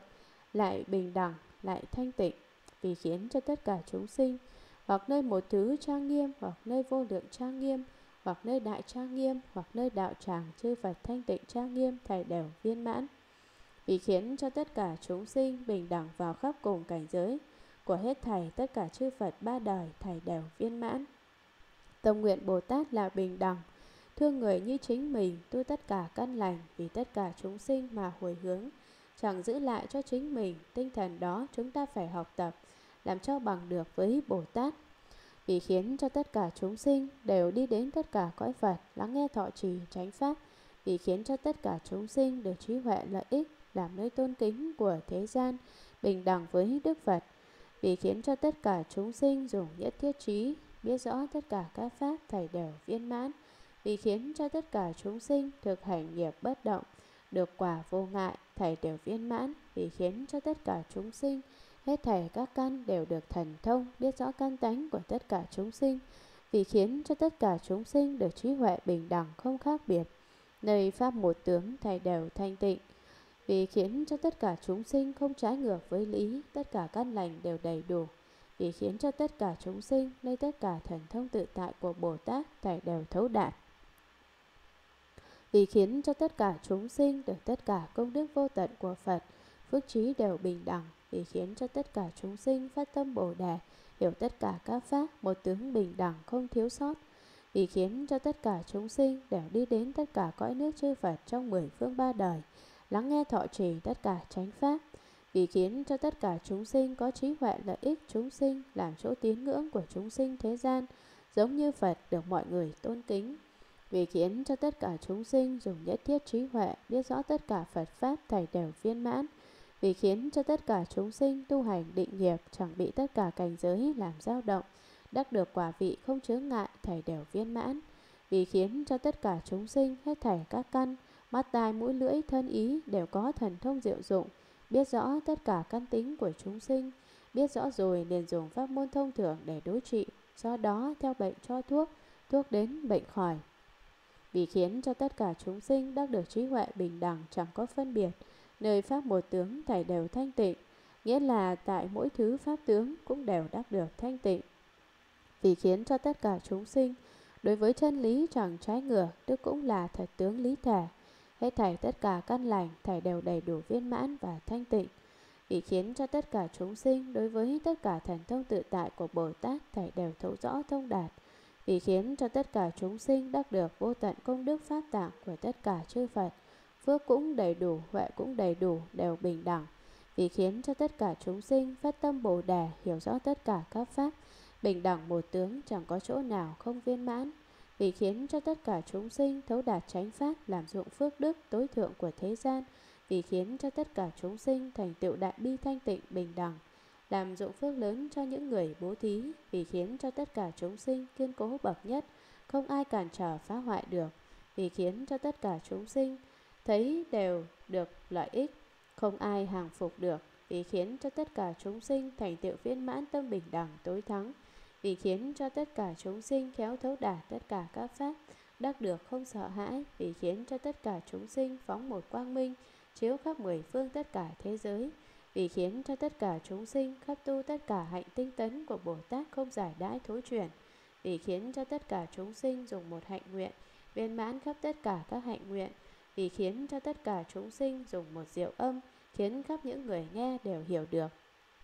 vì khiến cho tất cả chúng sinh thấu rõ thông đạt chánh pháp nhãn tạng, làm dụng phước tối thượng của thế gian, vì khiến cho tất cả chúng sinh thành tựu tâm đại bi thanh tịnh bình đẳng, làm dụng phước lớn cho tất cả những người bố thí, vì khiến cho tất cả chúng sinh tâm tin vững chắc bậc nhất, tâm tin đó không thể bị cản trở phá hoại. Vì khiến cho tất cả chúng sinh bất cứ thấy gì thầy đều đắc được lợi ích lớn, lợi ích đó không thể khôi phục được. Học Phật Pháp, nghe Phật Pháp vẫn phải hành trì Phật Pháp. Nếu chỉ học và nghe không cung hành thực tiễn, giống như nói thức ăn và đếm châu báu chẳng có ích lợi gì. Do đó, suốt ngày đếm châu báu, mình chẳng có động nào, nơi Pháp chẳng tu hành, lỗi lầm cũng như vậy. Ở trong Phật Pháp, chú trọng nhất về cung hành thực tiễn, ví như học pháp môn bố thí thì phải bố thí, học pháp môn trì giới thì phải giữ giới, học pháp môn nhẫn nhục thì phải nhẫn nhục, học pháp môn tinh tấn thì phải siêng năng tinh tấn, học pháp môn thiền định thì phải tu thiền định, học pháp môn bát nhã thì phải có trí huệ. Tất cả hết thầy phải cung hành thực tiễn, chẳng phải học mà không hành, hành còn phải hành chân thật, không thể cầu thả. Dụng công như thế thì mới đắc được sự thọ dụng. Tôi thường nói với các vị, tất cả là khảo nghiệm, xem bạn làm gì. Đối cảnh không nhận thức, phải luyện lại từ đầu. Học Phật Pháp tức là phải thực hành, chẳng phải chỉ nói suông, do đó nói một trượng không bằng hành một thước. Các vị hãy lưu ý về điểm quan trọng này, phải có công phu tin hiểu hành chứng, còn phải có tinh thần từ bi hỷ xả mới là người chân chánh học Phật Pháp, vì khiến cho tất cả chúng sinh thành tựu viên mãn tâm bố thí bình đẳng thù thắng, vì khiến cho tất cả chúng sinh khéo thấu rõ thông đạt nghĩa lý của tất cả các Pháp, đắc được sự không sợ hãi, vì khiến cho tất cả chúng sinh phóng ra một thứ đại quang minh chiếu khắp mười phương thế giới, vì khiến cho tất cả chúng sinh khắp tù tất cả hạnh tinh tấn của Bồ Tát chẳng có giải đãi thối truyền, vì khiến cho tất cả chúng sinh dùng một hạnh nguyện viên mãn, tất cả hạnh nguyện đều viên mãn vì quan hệ như vậy, cho nên Bồ Tát tu các thứ căn lành đều hồi hướng cho tất cả chúng sinh. Vì khiến cho tất cả chúng sinh dùng một diệu âm, khắp khiến cho chúng sinh nghe được diệu âm, đều thấu hiểu nghĩa chân thật của tất cả các pháp, vì khiến cho tất cả chúng sinh đều được đầy đủ tâm thanh tịnh của tất cả Bồ Tát, vì khiến cho tất cả chúng sinh được gặp các vị thiện tri thức, thầy đều thừa sự, vì khiến cho tất cả chúng sinh tu hạnh Bồ Tát điều phục chúng sinh không nghỉ ngơi, vì khiến cho tất cả chúng sinh dùng rượu biện tài đủ tất cả tiếng, tùy căn cơ diễn nói không dứt, vì khiến cho tất cả chúng sinh dùng một tâm biết tất cả tâm, dùng tất cả căn lành bình đẳng hồi hướng, vì khiến cho tất cả chúng sinh thường ưa thích tích tập tất cả căn lành, an lập chúng sinh nơi trí huệ thanh tịnh, vì khiến cho tất cả chúng sinh được nhất thiết trí, thần phước đức trí huệ thanh tịnh, vì khiến cho tất cả chúng sinh khéo biết căn lành của tất cả chúng sinh, quan sát hồi hướng đều thành tựu. Vì khiến cho tất cả chúng sinh đều được đầy đủ viên mãn tâm thanh tịnh của tất cả Bồ Tát, vì khiến cho tất cả chúng sinh khắp được gặp các vị thiện tri thức hoàn toàn thừa sự cúng dường, vì khiến cho tất cả chúng sinh tu hành hạnh môn của Bồ Tát tu, điều phục tất cả chúng sinh vĩnh viễn không nghỉ ngơi, vì khiến cho tất cả chúng sinh dùng biện tài vi diệu đầy đủ tất cả âm thanh, tùy thuận căn cơ của chúng sinh, do đó quan sát căn cơ vì người nói Pháp, rộng diễn nói nghĩa lý vô tận, nghĩa lý giống như sóng biển chẳng có lúc nào dứt. Một tiếng đầy đủ tất cả tiếng, một pháp đầy đủ tất cả pháp, một nghĩa đầy đủ tất cả nghĩa, đó là cảnh giới viên dung vô ngại của Kinh Hoa Nghiêm.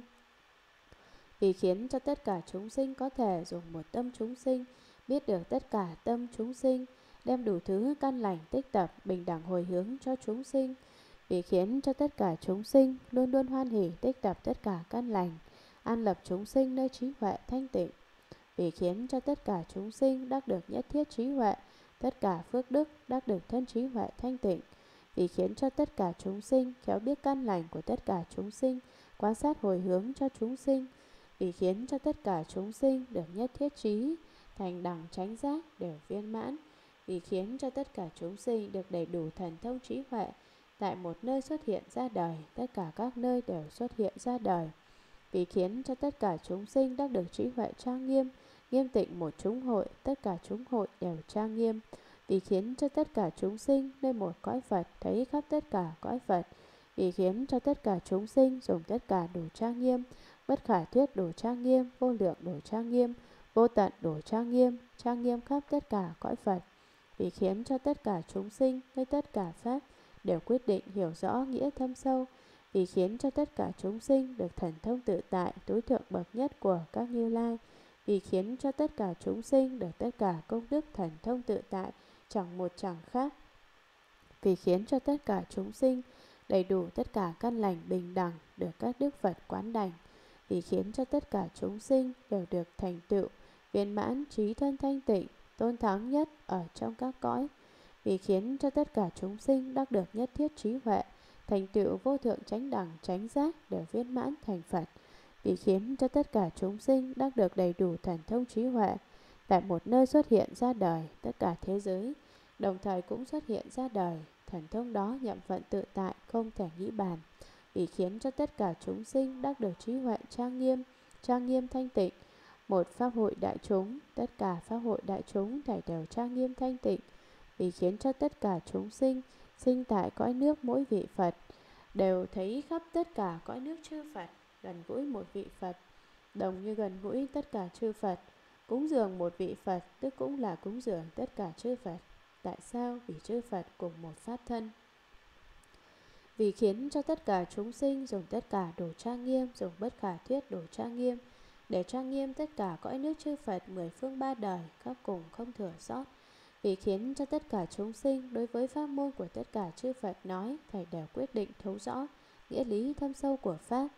Vì khiến cho tất cả chúng sinh đắc được thần thông diệu dụng tự tại tối thượng bậc nhất của tất cả chư Phật.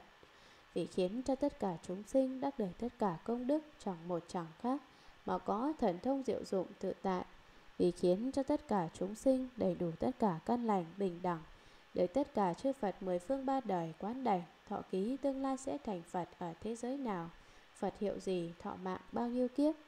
Vì khiến cho tất cả chúng sinh đều được thành tựu viên mãn thân trí huệ, thanh tịnh, tôn quý nhất, thủ thắng nhất ở trong tam giới 25 cõi. Phật tử, Đại Bồ Tát từ bi thương xót là ích an lạc tất cả chúng sinh như vậy đều khiến cho thanh tịnh, xa lìa san tham đố kỵ, hưởng thọ an vui thủ thắng, đủ oai đức lớn, sinh tâm tin hiểu lớn, vĩnh viễn để khỏi sân hận và các ô trường. Tâm thanh tịnh, chất trực dịu dàng, chẳng có xiểm khúc mê hoặc ngu si, thực hành hạnh xuất ly, vững chắc không họa tâm bình đẳng, vĩnh viễn không thối chuyển, thành tựu đầy đủ pháp lực trắng tịnh, không phiền não, không lỗi lầm, khéo léo hồi hướng, thường tu tránh hạnh, điều phục chúng sinh, diệt trừ tất cả các nghiệp bất thiện, tu hành khổ hạnh tất cả căn lành. Bồ Tát Kim Cang Tràng lại gọi một tiếng các vị đại đệ tử của Phật. Đại Bồ Tát tu Bồ Tát đạo, giống như ở trước nói, từ bi thương xót tất cả chúng sinh, nguyện cho tất cả chúng sinh liều khổ được vui, lợi ích tất cả chúng sinh, an lạc tất cả chúng sinh, khiến cho tất cả chúng sinh đều được thanh tịnh, xa lìa tư tưởng san tham đố kỵ, tương lai sẽ thọ được an vui thủ thắng vi diệu, đầy đủ sức oai đức lớn, sinh ra tâm tin hiểu lớn, vĩnh viễn lìa khỏi tất cả sân hận và ô trược. Tâm thanh tịnh không có vọng tưởng, lại rất chất trực, rất dịu dàng. Chẳng có tâm cang cường, chẳng có tâm xiểm nịnh, chẳng có tâm quanh co, chẳng có tâm mê hoặc, chẳng có tâm ngu si. Trí huệ quang minh thường hiện tiền, tu hành hạnh môn thoát khỏi ba cõi, vững chắc như kim cang không thể bị phá hoại. Tâm bình đẳng vĩnh viễn không thối truyền, tu hành pháp lực trắng tịnh, thành tựu đầy đủ, viên dung vô ngại, chẳng có phiền não, chẳng có tổn thất, dùng pháp môn phương tiện khéo léo để vì chúng sinh hồi hướng, vì khiến cho tất cả chúng sinh thường tu pháp môn tránh hại, tức cũng là tránh pháp. Bồ Tát dùng pháp môn phương tiện khéo léo để điều phục tất cả chúng sinh cang cường, diệt trừ tất cả nghiệp bất thiện của chúng sinh, làm cho nghiệp lành tăng trưởng, tu hành tất cả khổ hạnh mới đắc được tất cả căn lành. Nghiệp lành tức là 10 điều lành, thân miệng ý ba nghiệp thanh tịnh, tức đầy đủ 10 điều lành, thân miệng ý ba nghiệp nhiễm ô, tức là 10 điều ác. Đó là căn bản của Phật Pháp. Tại gia cư sĩ phải tu, không làm các điều ác, hãy làm các điều lành. Các vị xuất gia phải tu, siêng tu giới định huệ, tiêu diệt tham sân si. Lại khuyên chúng sinh khiến họ tu tập, các vị các hàm thức, thọ đủ các thứ khổ, dùng mắt đại trí huệ quan sát các căn lành, biết họ đều dùng trí huệ làm tánh, phương tiện hồi hướng cho tất cả chúng sinh, vì khiến cho tất cả chúng sinh đều được an trụ tất cả nơi công đức thanh tịnh, vì khiến cho tất cả chúng sinh đều có thể nhiếp thọ tất cả căn lành, biết các tánh công đức và nghĩa lý, vì khiến cho tất cả chúng sinh tịnh khắp tất cả các căn lành, vì khiến cho tất cả chúng sinh ở trong cảnh giới ruộng phước gieo trồng các pháp lành tâm chẳng hối tiếc vì khiến cho tất cả chúng sinh nhiếp thọ được khắp tất cả chúng sinh. Mỗi chúng sinh đều khiến cho họ hướng về nhất thiết trí vì khiến cho tất cả chúng sinh nhiếp khắp hết thảy tất cả căn lành. Mỗi căn lành đều bình đẳng hồi hướng đồng đều. Bồ Tát lại khuyên tất cả chúng sinh, khiến cho chúng sinh tu tập tránh pháp. Khắp vì hết tất cả chúng sinh hàm thức, thay thế họ, thọ đủ tất cả khổ não. Dùng mắt đại trí huệ, quan sát căn lành của chúng sinh. Biết tất cả chúng sinh dùng trí huệ bát nhã làm tánh, mà dùng pháp môn phương tiện khéo léo để vì chúng sinh hồi hướng. Vì khiến cho tất cả chúng sinh đều được an trụ nơi tất cả công đức thanh tịnh vì khiến cho tất cả chúng sinh tích tập nhiếp thọ, thương tiếc tất cả các lành, biết tất cả tánh công đức và tất cả nghĩa lý. Vì khiến cho tất cả chúng sinh thành tịnh cấp hết thảy các thứ căn lành. Vì khiến cho tất cả chúng sinh ở nơi ruộng phước gieo trồng tất cả pháp lành. Nghĩa là bố thí tất cả nội tài và ngoại tài, tâm chẳng hối tiếc. Tại sao chúng ta chẳng có phước báo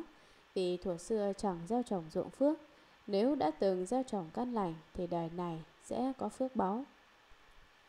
vì khiến cho tất cả chúng sinh, nhấp thọ khắp tất cả chúng sinh, mỗi chúng sinh đều đắc được nhất thiết trí huệ. Vì khiến cho tất cả chúng sinh nhiếp thọ khắp hết thảy, tất cả căn lành, mỗi căn lành đều dùng tâm bình đẳng, hồi hướng cho chúng sinh, chẳng phân biệt đó đây thảy đều bình đẳng, đồng đều với nhau lại đem các căn lành hồi hướng như vậy, nguyện cho tất cả chúng sinh rốt ráo được an ổn. Nguyện cho tất cả chúng sinh rốt ráo được thanh tịnh. Nguyện cho tất cả chúng sinh rốt ráo được an lạc. Nguyện cho tất cả chúng sinh rốt ráo được giải thoát. Nguyện cho tất cả chúng sinh rốt ráo được bình đẳng. Nguyện cho tất cả chúng sinh rốt ráo được thấu đạt. Nguyện cho tất cả chúng sinh rốt ráo an trụ các pháp trắng tịnh. Nguyện cho tất cả chúng sinh được mắt vô ngại nguyện cho tất cả chúng sinh kéo điều phục tâm mình, nguyện cho tất cả chúng sinh đầy đủ mười lực điều phục được chúng sinh bồ tát lại đem các thứ can lành vì chúng sinh hồi hướng như vậy nguyện cho tất cả chúng sinh đều đắc được lợi ích lớn một, nguyện cho tất cả chúng sinh đắc được an ổn rốt ráo. hai, nguyện cho tất cả chúng sinh đắc được thanh tịnh rốt ráo. ba, nguyện cho tất cả chúng sinh đắc được an lạc rốt ráo. 4. Nguyện cho tất cả chúng sinh đắc được giải thoát rốt ráo 5. Nguyện cho tất cả chúng sinh đắc được bình đẳng rốt ráo 6. Nguyện cho tất cả chúng sinh đắc được thấu đạt rốt ráo Tức cũng là thấu đạt cảnh giới, Người chuyển được cảnh giới Cảnh giới không chuyển được người Do đó, tánh định ma phục chiều chiều lạc, Vọng tưởng bất khởi, xứ xứ an 7. Nguyện cho tất cả chúng sinh đắc được an trụ pháp trắng tịnh rốt ráo, Tức cũng là pháp thanh tịnh 8. Nguyện cho tất cả chúng sinh đắc được mắt trí huệ không chướng ngại, minh bạch được chân lý. 9. Nguyện cho tất cả chúng sinh kéo điều phục được tâm mình mà không có phiền não. Tại sao chúng ta lúc nào ở đâu cũng đều sinh phiền não? Vì chẳng điều phục được tâm mình, nếu điều phục được tâm thì tất cả phiền não đều chẳng còn nữa. Tu hành điều quan trọng nhất là điều phục được tâm mình, đả thiền thất hoặc đả Phật thất tức là điều tâm điều thân khiến cho tâm chẳng còn tham sân si khiến cho thân chẳng còn giết hại trộm cắp tà dâm đây là phương pháp tu hành tốt nhất 10. Nguyện cho tất cả chúng sinh đầy đủ mười lực của Phật điều phục được chúng sinh trong chín pháp giới Phật tử khi Đại Bồ Tát hồi hướng như vậy thì không chấp nghiệp, không chấp báo, không chấp thân, không chấp vật, không chấp cõi, không chấp phương, không chấp chúng sinh, không chấp chẳng có chúng sinh, không chấp tất cả các pháp, không chấp chẳng có tất cả các pháp. Các vị đệ tử của Phật Đại Bồ Tát tu Bồ Tát Đạo khi hồi hướng như vậy thì chẳng chấp trước vào nghiệp thiện hoặc nghiệp ác, chẳng chấp trước vào thiện báo hoặc ác báo. Tóm lại, tất cả đều chẳng chấp trước. Tại sao? Vì Bồ Tát thấy tánh nghiệp và tánh báo đều không cho nên chẳng chấp trước, cũng chẳng chấp trước thân, cũng chẳng chấp trước vật. Do đó, bên trong chẳng chấp thân tâm, bên ngoài chẳng chấp sự vật. Cũng chẳng chấp trước về cõi, cũng chẳng chấp trước về phương, tóm lại chẳng chấp trước vào mười phương cõi nước, chẳng chấp trước vào tất cả các phương, cũng chẳng chấp trước vào tất cả chúng sinh, cũng chẳng chấp trước vào chẳng có chúng sinh, cũng chẳng chấp trước vào tất cả các pháp, cũng chẳng chấp trước vào chẳng có tất cả các pháp, đó là cảnh giới không chấp trước của Bồ Tát. Phật tử khi Đại Bồ Tát hồi hướng như vậy thì đem căn lành đó bố thí khắp thế gian, nguyện cho tất cả chúng sinh thành tựu viên mãn trí huệ của Phật, được tâm thanh tịnh, trí huệ thấu rõ, nội tâm vắng lặng, duyên ngoài chẳng động, tăng trưởng thành tựu giống Phật ba đời. Các vị đệ tử của Phật, Đại Bồ Tát, tu Bồ Tát Đạo, khi hồi hướng như vậy thì đem căn lành tu hành tích tập đó, bố thí khắp cho hết thầy chúng sinh thế gian, nguyện cho tất cả chúng sinh thành tựu viên mãn nhất thiết trí huệ của Phật, đắc được tâm thanh tịnh không cấu bẩn, có trí huệ rồi mới thấu đạt chân đế thật tướng của các pháp. Nội tâm thanh tịnh vắng lặng, gặp ngoại cảnh không động tâm, nơi nào cũng thản nhiên, tăng trưởng thành tựu giống tánh của tất cả chư Phật mười phương ba đời. Phật tử khi Đại Bồ Tát tu hành hồi hướng như vậy thì vượt qua tất cả, không ai hơn được. Hết thảy lời lẽ của tất cả thế gian đều khen ngợi cũng không hết được. Khắp tu tất cả các hạnh của Bồ Tát đều hay qua đến tất cả cõi Phật, thấy khắp chư Phật chẳng có chứa ngại. Lại thấy hạnh môn tu hành của Bồ Tát khắp tất cả thế giới, dùng phương tiện khéo léo vì các chúng sinh phân biệt câu nghĩa thâm sâu của các pháp, được Đà La Ni diễn nói diệu pháp, hết thuở kiếp vị lai chẳng có đoạn tuyệt. Các vị đệ tử của Phật, Đại Bồ Tát tu hành Bồ Tát Đạo, khi Ngài tu hành pháp môn hồi hướng như vậy, thì vượt qua tất cả công đức của thế gian chẳng có gì lớn hơn được. Hết thảy lời lẽ của tất cả thế gian, thầy đều cùng khen ngợi tán thán Bồ Tát tu công đức hồi hướng. Chẳng những dùng một thứ lời lẽ và văn tự để khen ngợi không thể hết được, mà dùng hết thầy đủ thứ lời lẽ và văn tự để khen ngợi cũng không thể nào hết được. Khắp tu hành hạnh môn lục độ vạn hạnh của Bồ Tát tu lại hay qua đến tất cả cõi nước chư Phật mười phương, thấy khắp vô lượng chư Phật mà chẳng có mọi sự chướng ngại, lại thấy khắp hạnh môn tu hành của các đại Bồ Tát trong tất cả thế giới, lại dùng phương tiện khéo léo vì tất cả chúng sinh phân biệt nghĩa lý của sắc pháp, tâm pháp, tâm sở pháp, bất tương ưng pháp, vô vi pháp, năm thứ pháp này. Mỗi một câu nghĩa lý là gì, mỗi một chữ nghĩa lý là gì, đều giải thích cặn kẽ, được nghĩa lý của Đà La Ni vì tất cả chúng sinh diễn nói diệu pháp, suốt hết kiếp thuở vị lai luôn luôn diễn nói cũng không đoạn tuyệt, vì chúng sinh chuyển bánh xe pháp lớn không sợ khốn khổ hoạn nạn, chọn không ngừng nghỉ. Vì chúng sinh mà niệm niệm ở nơi bất khả thuyết, bất khả thuyết thế giới, giống như hình bóng hiện thân khắp để cúng dường chư Phật. Niệm niệm nghiêm tịnh bất khả thuyết, bất khả thuyết cõi nước chư Phật, đều khiến khắp cùng tu hành nghiêm tịnh cõi Phật, trí huệ không nhàm đủ. Niệm niệm khiến cho bất khả thuyết, bất khả thuyết trăm ngàn ước na do tha chúng sinh thanh tịnh thành tựu, bình đẳng đầy đủ. Bồ Tát vì tất cả chúng sinh mà trong mỗi niệm, ở nơi bất khả thuyết, bất khả thuyết thế giới giống như hình bóng khắp thị hiện thân mình, cúng dường tất cả chư Phật. Ở trong niệm niệm trang nghiêm thanh tịnh, bất khả thuyết, bất khả thuyết cõi nước chư Phật, hoàn toàn khiến cho khắp cùng tu hành trang nghiêm thanh tịnh cõi nước chư Phật, tăng thêm nhất thiết trí huệ, chẳng có lúc nào nhằm đủ. Ở trong niệm niệm khiến cho bất khả thuyết, bất khả thuyết trăm ngàn ức na do tha chúng sinh đều được thanh tịnh, thành tựu bình đẳng, đầy đủ, thầy đều viên mãn. Ở trong tất cả cõi Phật đó sinh tu tất cả các ba la mật, nhiếp lấy chúng sinh thành tựu tịnh nghiệp, được tai vô ngại.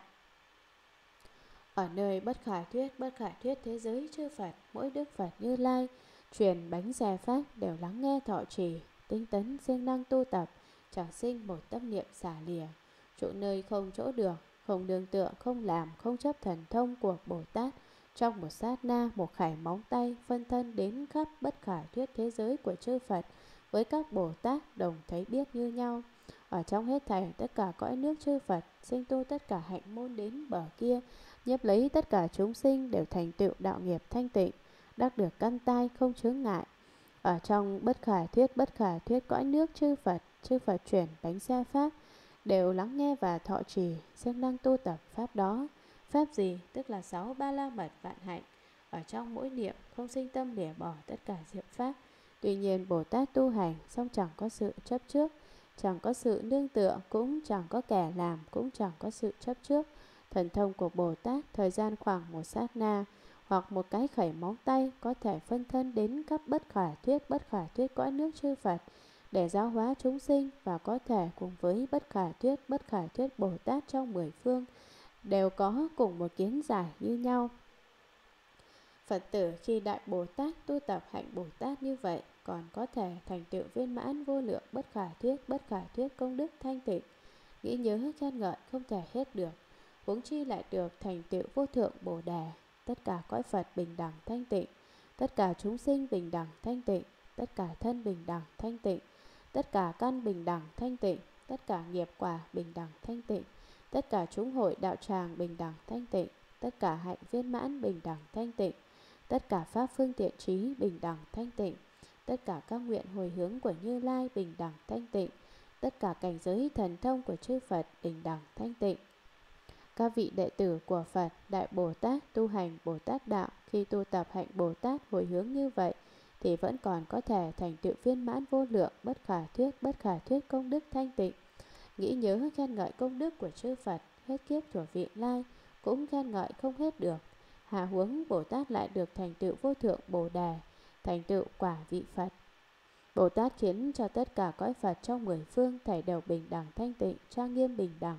Tất cả chúng sinh cũng được bình đẳng thanh tịnh, tất cả thân cũng được bình đẳng thanh tịnh, tất cả căn cũng được bình đẳng thanh tịnh, tất cả nghiệp quả cũng được bình đẳng thanh tịnh, tất cả đạo tràng và chúng hội của Phật cũng được bình đẳng thanh tịnh, tất cả hạnh viên mãn cũng bình đẳng thanh tịnh, tất cả pháp phương tiện trí cũng bình đẳng thanh tịnh, Tất cả nguyện lớn của chư Phật đã phát, pháp môn hồi hướng cho chúng sinh cũng bình đẳng thanh tịnh. Tất cả cảnh giới thần thông của chư Phật cũng bình đẳng thanh tịnh. Phật tử khi Đại Bồ Tát hồi hướng như vậy, thì đắc được pháp môn tất cả công đức thanh tịnh hoan hỷ, vô lượng công đức viên mãn trang nghiêm. Các vị đệ tử của Phật, Đại Bồ Tát tu hành Bồ Tát Đạo khi hồi hướng như vậy, thì đắc được pháp môn tất cả công đức thanh tịnh hoan hỷ, vô lượng công đức đắc được vừa viên mãn vừa trang nghiêm. Khi hồi hướng như vậy thì chúng sinh chẳng trái với tất cả cõi, cõi chẳng trái với tất cả chúng sinh, cõi chúng sinh chẳng trái với nghiệp, nghiệp chẳng trái với cõi chúng sinh. Tư duy chẳng trái với tâm, tâm chẳng trái với tư duy, tư duy tâm chẳng trái với cảnh giới, cảnh giới chẳng trái với tư duy tâm. Nghiệp chẳng trái với báo, báo chẳng trái với nghiệp, Nghiệp chẳng trái với nghiệp đạo, nghiệp đạo chẳng trái với nghiệp, pháp tánh chẳng trái với tướng, pháp tướng chẳng trái với tánh, pháp sinh chẳng trái với tánh, cõi bình đẳng chẳng trái với chúng sinh bình đẳng, chúng sinh bình đẳng chẳng trái với cõi bình đẳng. Tất cả chúng sinh bình đẳng chẳng trái với tất cả pháp bình đẳng, tất cả pháp bình đẳng chẳng trái với tất cả chúng sinh bình đẳng. Bờ mé địa dục bình đẳng chẳng trái với tất cả chúng sinh an trụ bình đẳng. Tất cả chúng sinh an trụ bình đẳng, chẳng trái với bờ mé địa dục bình đẳng. Khi Bồ Tát tụ hồi hướng này thì cõi nước cũng là không, chúng sinh cũng không, chẳng có sự chấp trước, do đó chẳng có tướng trái ngược. Chúng sinh chẳng trái với tất cả cõi, cõi cũng chẳng trái với tất cả chúng sinh. Tất cả cõi nước chư Phật, tất cả nghiệp quả của chúng sinh đều chẳng trái với nghiệp, nghiệp cũng chẳng trái với cõi Phật và chúng sinh. Tư tưởng của chúng sinh chẳng trái với tâm, Tâm cũng chẳng trái với tư tưởng, tư tưởng tâm chẳng trái với cảnh giới, cảnh giới chẳng trái với tư tưởng tâm. Tất cả tại tâm như ý đều chẳng trái nhau, đều chẳng chướng ngại, đây là cảnh giới sự lý vô ngại, sự sự vô ngại. Chúng sinh vì mê hoặc bèn tạo ra đủ thứ nghiệp, có đủ thứ nghiệp rồi, bèn thọ đủ thứ quả báo, tạo nghiệp gì thì thọ quả báo đó không thể trái nhau. Nghiệp tạo ra chẳng trái với quả báo thọ, quả báo thọ chẳng trái với nghiệp tạo ra, đây đều có quan hệ với nhau. Nghiệp chẳng trái với nghiệp đạo, nghiệp đạo chẳng trái với nghiệp. Do đó nhân nào quả đó, tức cũng là đạo lý trồng nhân lành kết quả lành, trồng nhân ác kết quả ác, tất cả đều không trái với nhau. Tánh của Pháp chẳng trái với tướng của Pháp, tướng của Pháp chẳng trái với tánh của Pháp, tùy thuận với nhau, hỗ trợ với nhau. Pháp sinh khởi chẳng trái với tánh của Pháp, tánh của Pháp chẳng trái với Pháp sinh khởi. Cõi Phật bình đẳng chẳng trái với chúng sinh bình đẳng. Chúng sinh bình đẳng chẳng trái với Phật bình đẳng đều chẳng trái nhau. Tất cả chúng sinh bình đẳng chẳng trái với tất cả Pháp bình đẳng. Tất cả Pháp bình đẳng chẳng trái với tất cả chúng sinh bình đẳng. Bờ mé lìa dục thoát khỏi ba cõi bình đẳng chẳng trái với tất cả chúng sinh an trụ bình đẳng Tất cả chúng sinh an trụ bình đẳng, chẳng trái với bờ mé lìa dục bình đẳng. Quá khứ chẳng trái với vị lai, vị lai chẳng trái với quá khứ. Quá khứ vị lai chẳng trái với hiện tại. hiện tại chẳng trái với quá khứ vị lai, thế gian bình đẳng chẳng trái với Phật bình đẳng, Phật bình đẳng chẳng trái với thế gian bình đẳng.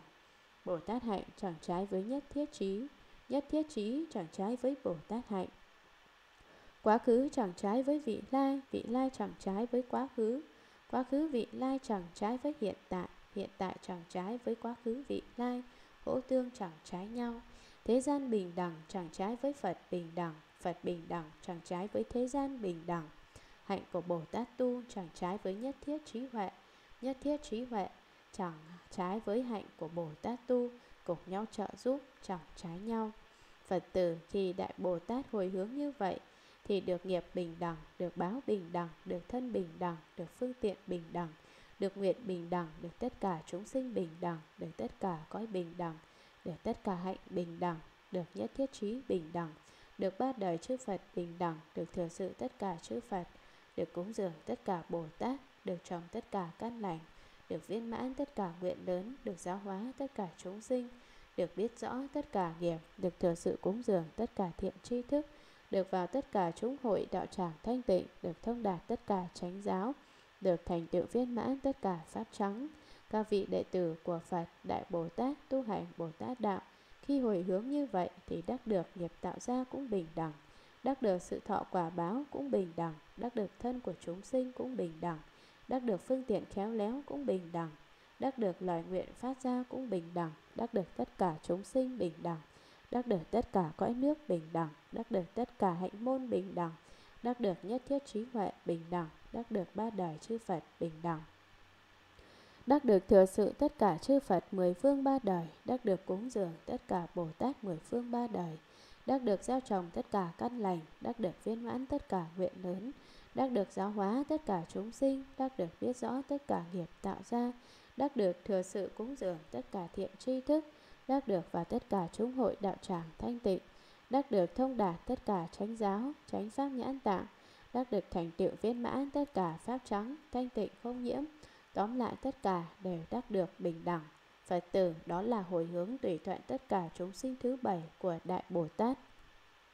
Các vị đệ tử của Phật, đạo lý vừa nói ở trên là hồi hướng thứ bảy của Đại Bồ Tát tu Bồ Tát Đạo, gọi là pháp môn hồi hướng bình đẳng tùy thuận tất cả chúng sinh. Đại Bồ Tát thành tựu hồi hướng này thì hàng phục được tất cả ma oán, trừ sạch các dục niệm, được sự an lạc xuất ly, trụ nơi tánh không ha, đủ ai đức lớn, cứu hộ chúng sinh, làm vua công đức, thần túc vô ngại đến tất cả cõi, vào nơi vắng lặng đủ tất cả thân, thành tựu hạnh Bồ Tát, nơi các hạnh nguyện tâm được tự tại, phân biệt biết rõ tất cả các pháp, đều sinh khắp tất cả cõi Phật, được tai vô ngại, nghe hết thảy âm thanh trong tất cả cõi, được mắt trí huệ thanh tịnh, thấy tất cả chư Phật chưa từng tạm ra lìa. Nơi tất cả cảnh giới thành tựu căn lành, tâm không cao thấp, nơi tất cả pháp được vô sở đắc, Đại Bồ Tát đem tất cả căn lành bình đẳng tùy thuận hồi hướng cho tất cả chúng sinh như vậy. Đại Bồ Tát tu hành Bồ Tát đạo thành tựu hồi hướng này thì diệt trừ được hết thảy sự oán hận của thiên ma ngoại đạo, nhổ sạch tất cả dục niệm cay độc, đắc được sự an lạc thoát khỏi dục giới, sắc giới, vô sắc giới, trụ nơi một thật tánh chẳng có hai tánh, đầy đủ oai đức lớn cứu hộ tất cả chúng sinh, là vua trong công đức, có thần túc thông, viên mãn không chướng ngại, có thể đi đến tất cả cõi nước của chư Phật vào nơi vắng lặng, tức cũng là cảnh giới tịch diệt khoái lạc, đầy đủ tất cả thân, tức là pháp thân, báo thân, ứng thân, hóa thân, thành tựu hạnh môn của Bồ Tát tu, đối với tất cả hạnh nguyện tâm được tự tại, phân biệt rõ ràng đạo lý thật tướng của tất cả các pháp, hoàn toàn sinh khắp trong tất cả cõi Phật, đắc được căn tai không chướng ngại, có thể nghe khắp hết thảy âm thanh của tất cả cõi Phật, đắc được con mắt trí huệ thanh tịnh, thấy được tất cả chư Phật mười phương, chẳng có giây phút nào tạm xa lìa Phật, nơi tất cả cảnh giới, thành tựu tất cả căn lành, tâm bình đẳng, chẳng có phân biệt cao thấp, nơi tất cả các pháp đều được vô sở đắc, do đó cảnh giới vô trí diệt vô đắc, không trí huệ cũng không đắc được. Đại Bồ Tát đem tất cả căn lành tu tập bình đẳng tùy thuận căn tánh của tất cả chúng sinh, hồi hướng cho chúng sinh như vậy cho nên tu trì tất cả pháp môn bố thí. Bấy giờ Bồ Tát Kim Cang Tràng nên thần lực của Đức Phật quán sát khắp mười phương mà nói kệ rằng Lúc đó Bồ Tát Kim Cang Tràng nâng đại oai thần lực của Đức Phật Thích Ca Mâu Ni quan sát khắp căn cơ của tất cả chúng sinh trong mười phương mà nói ra 21 bài kệ dưới đây, từng thuật lại nghĩa lý kinh văn ở trước, khiến cho đại chúng trong pháp hội Hoa Nghiêm hiểu rõ thêm, cũng là vì hy vọng chúng ta đời vị lai hiểu rõ diệu pháp thâm sâu này.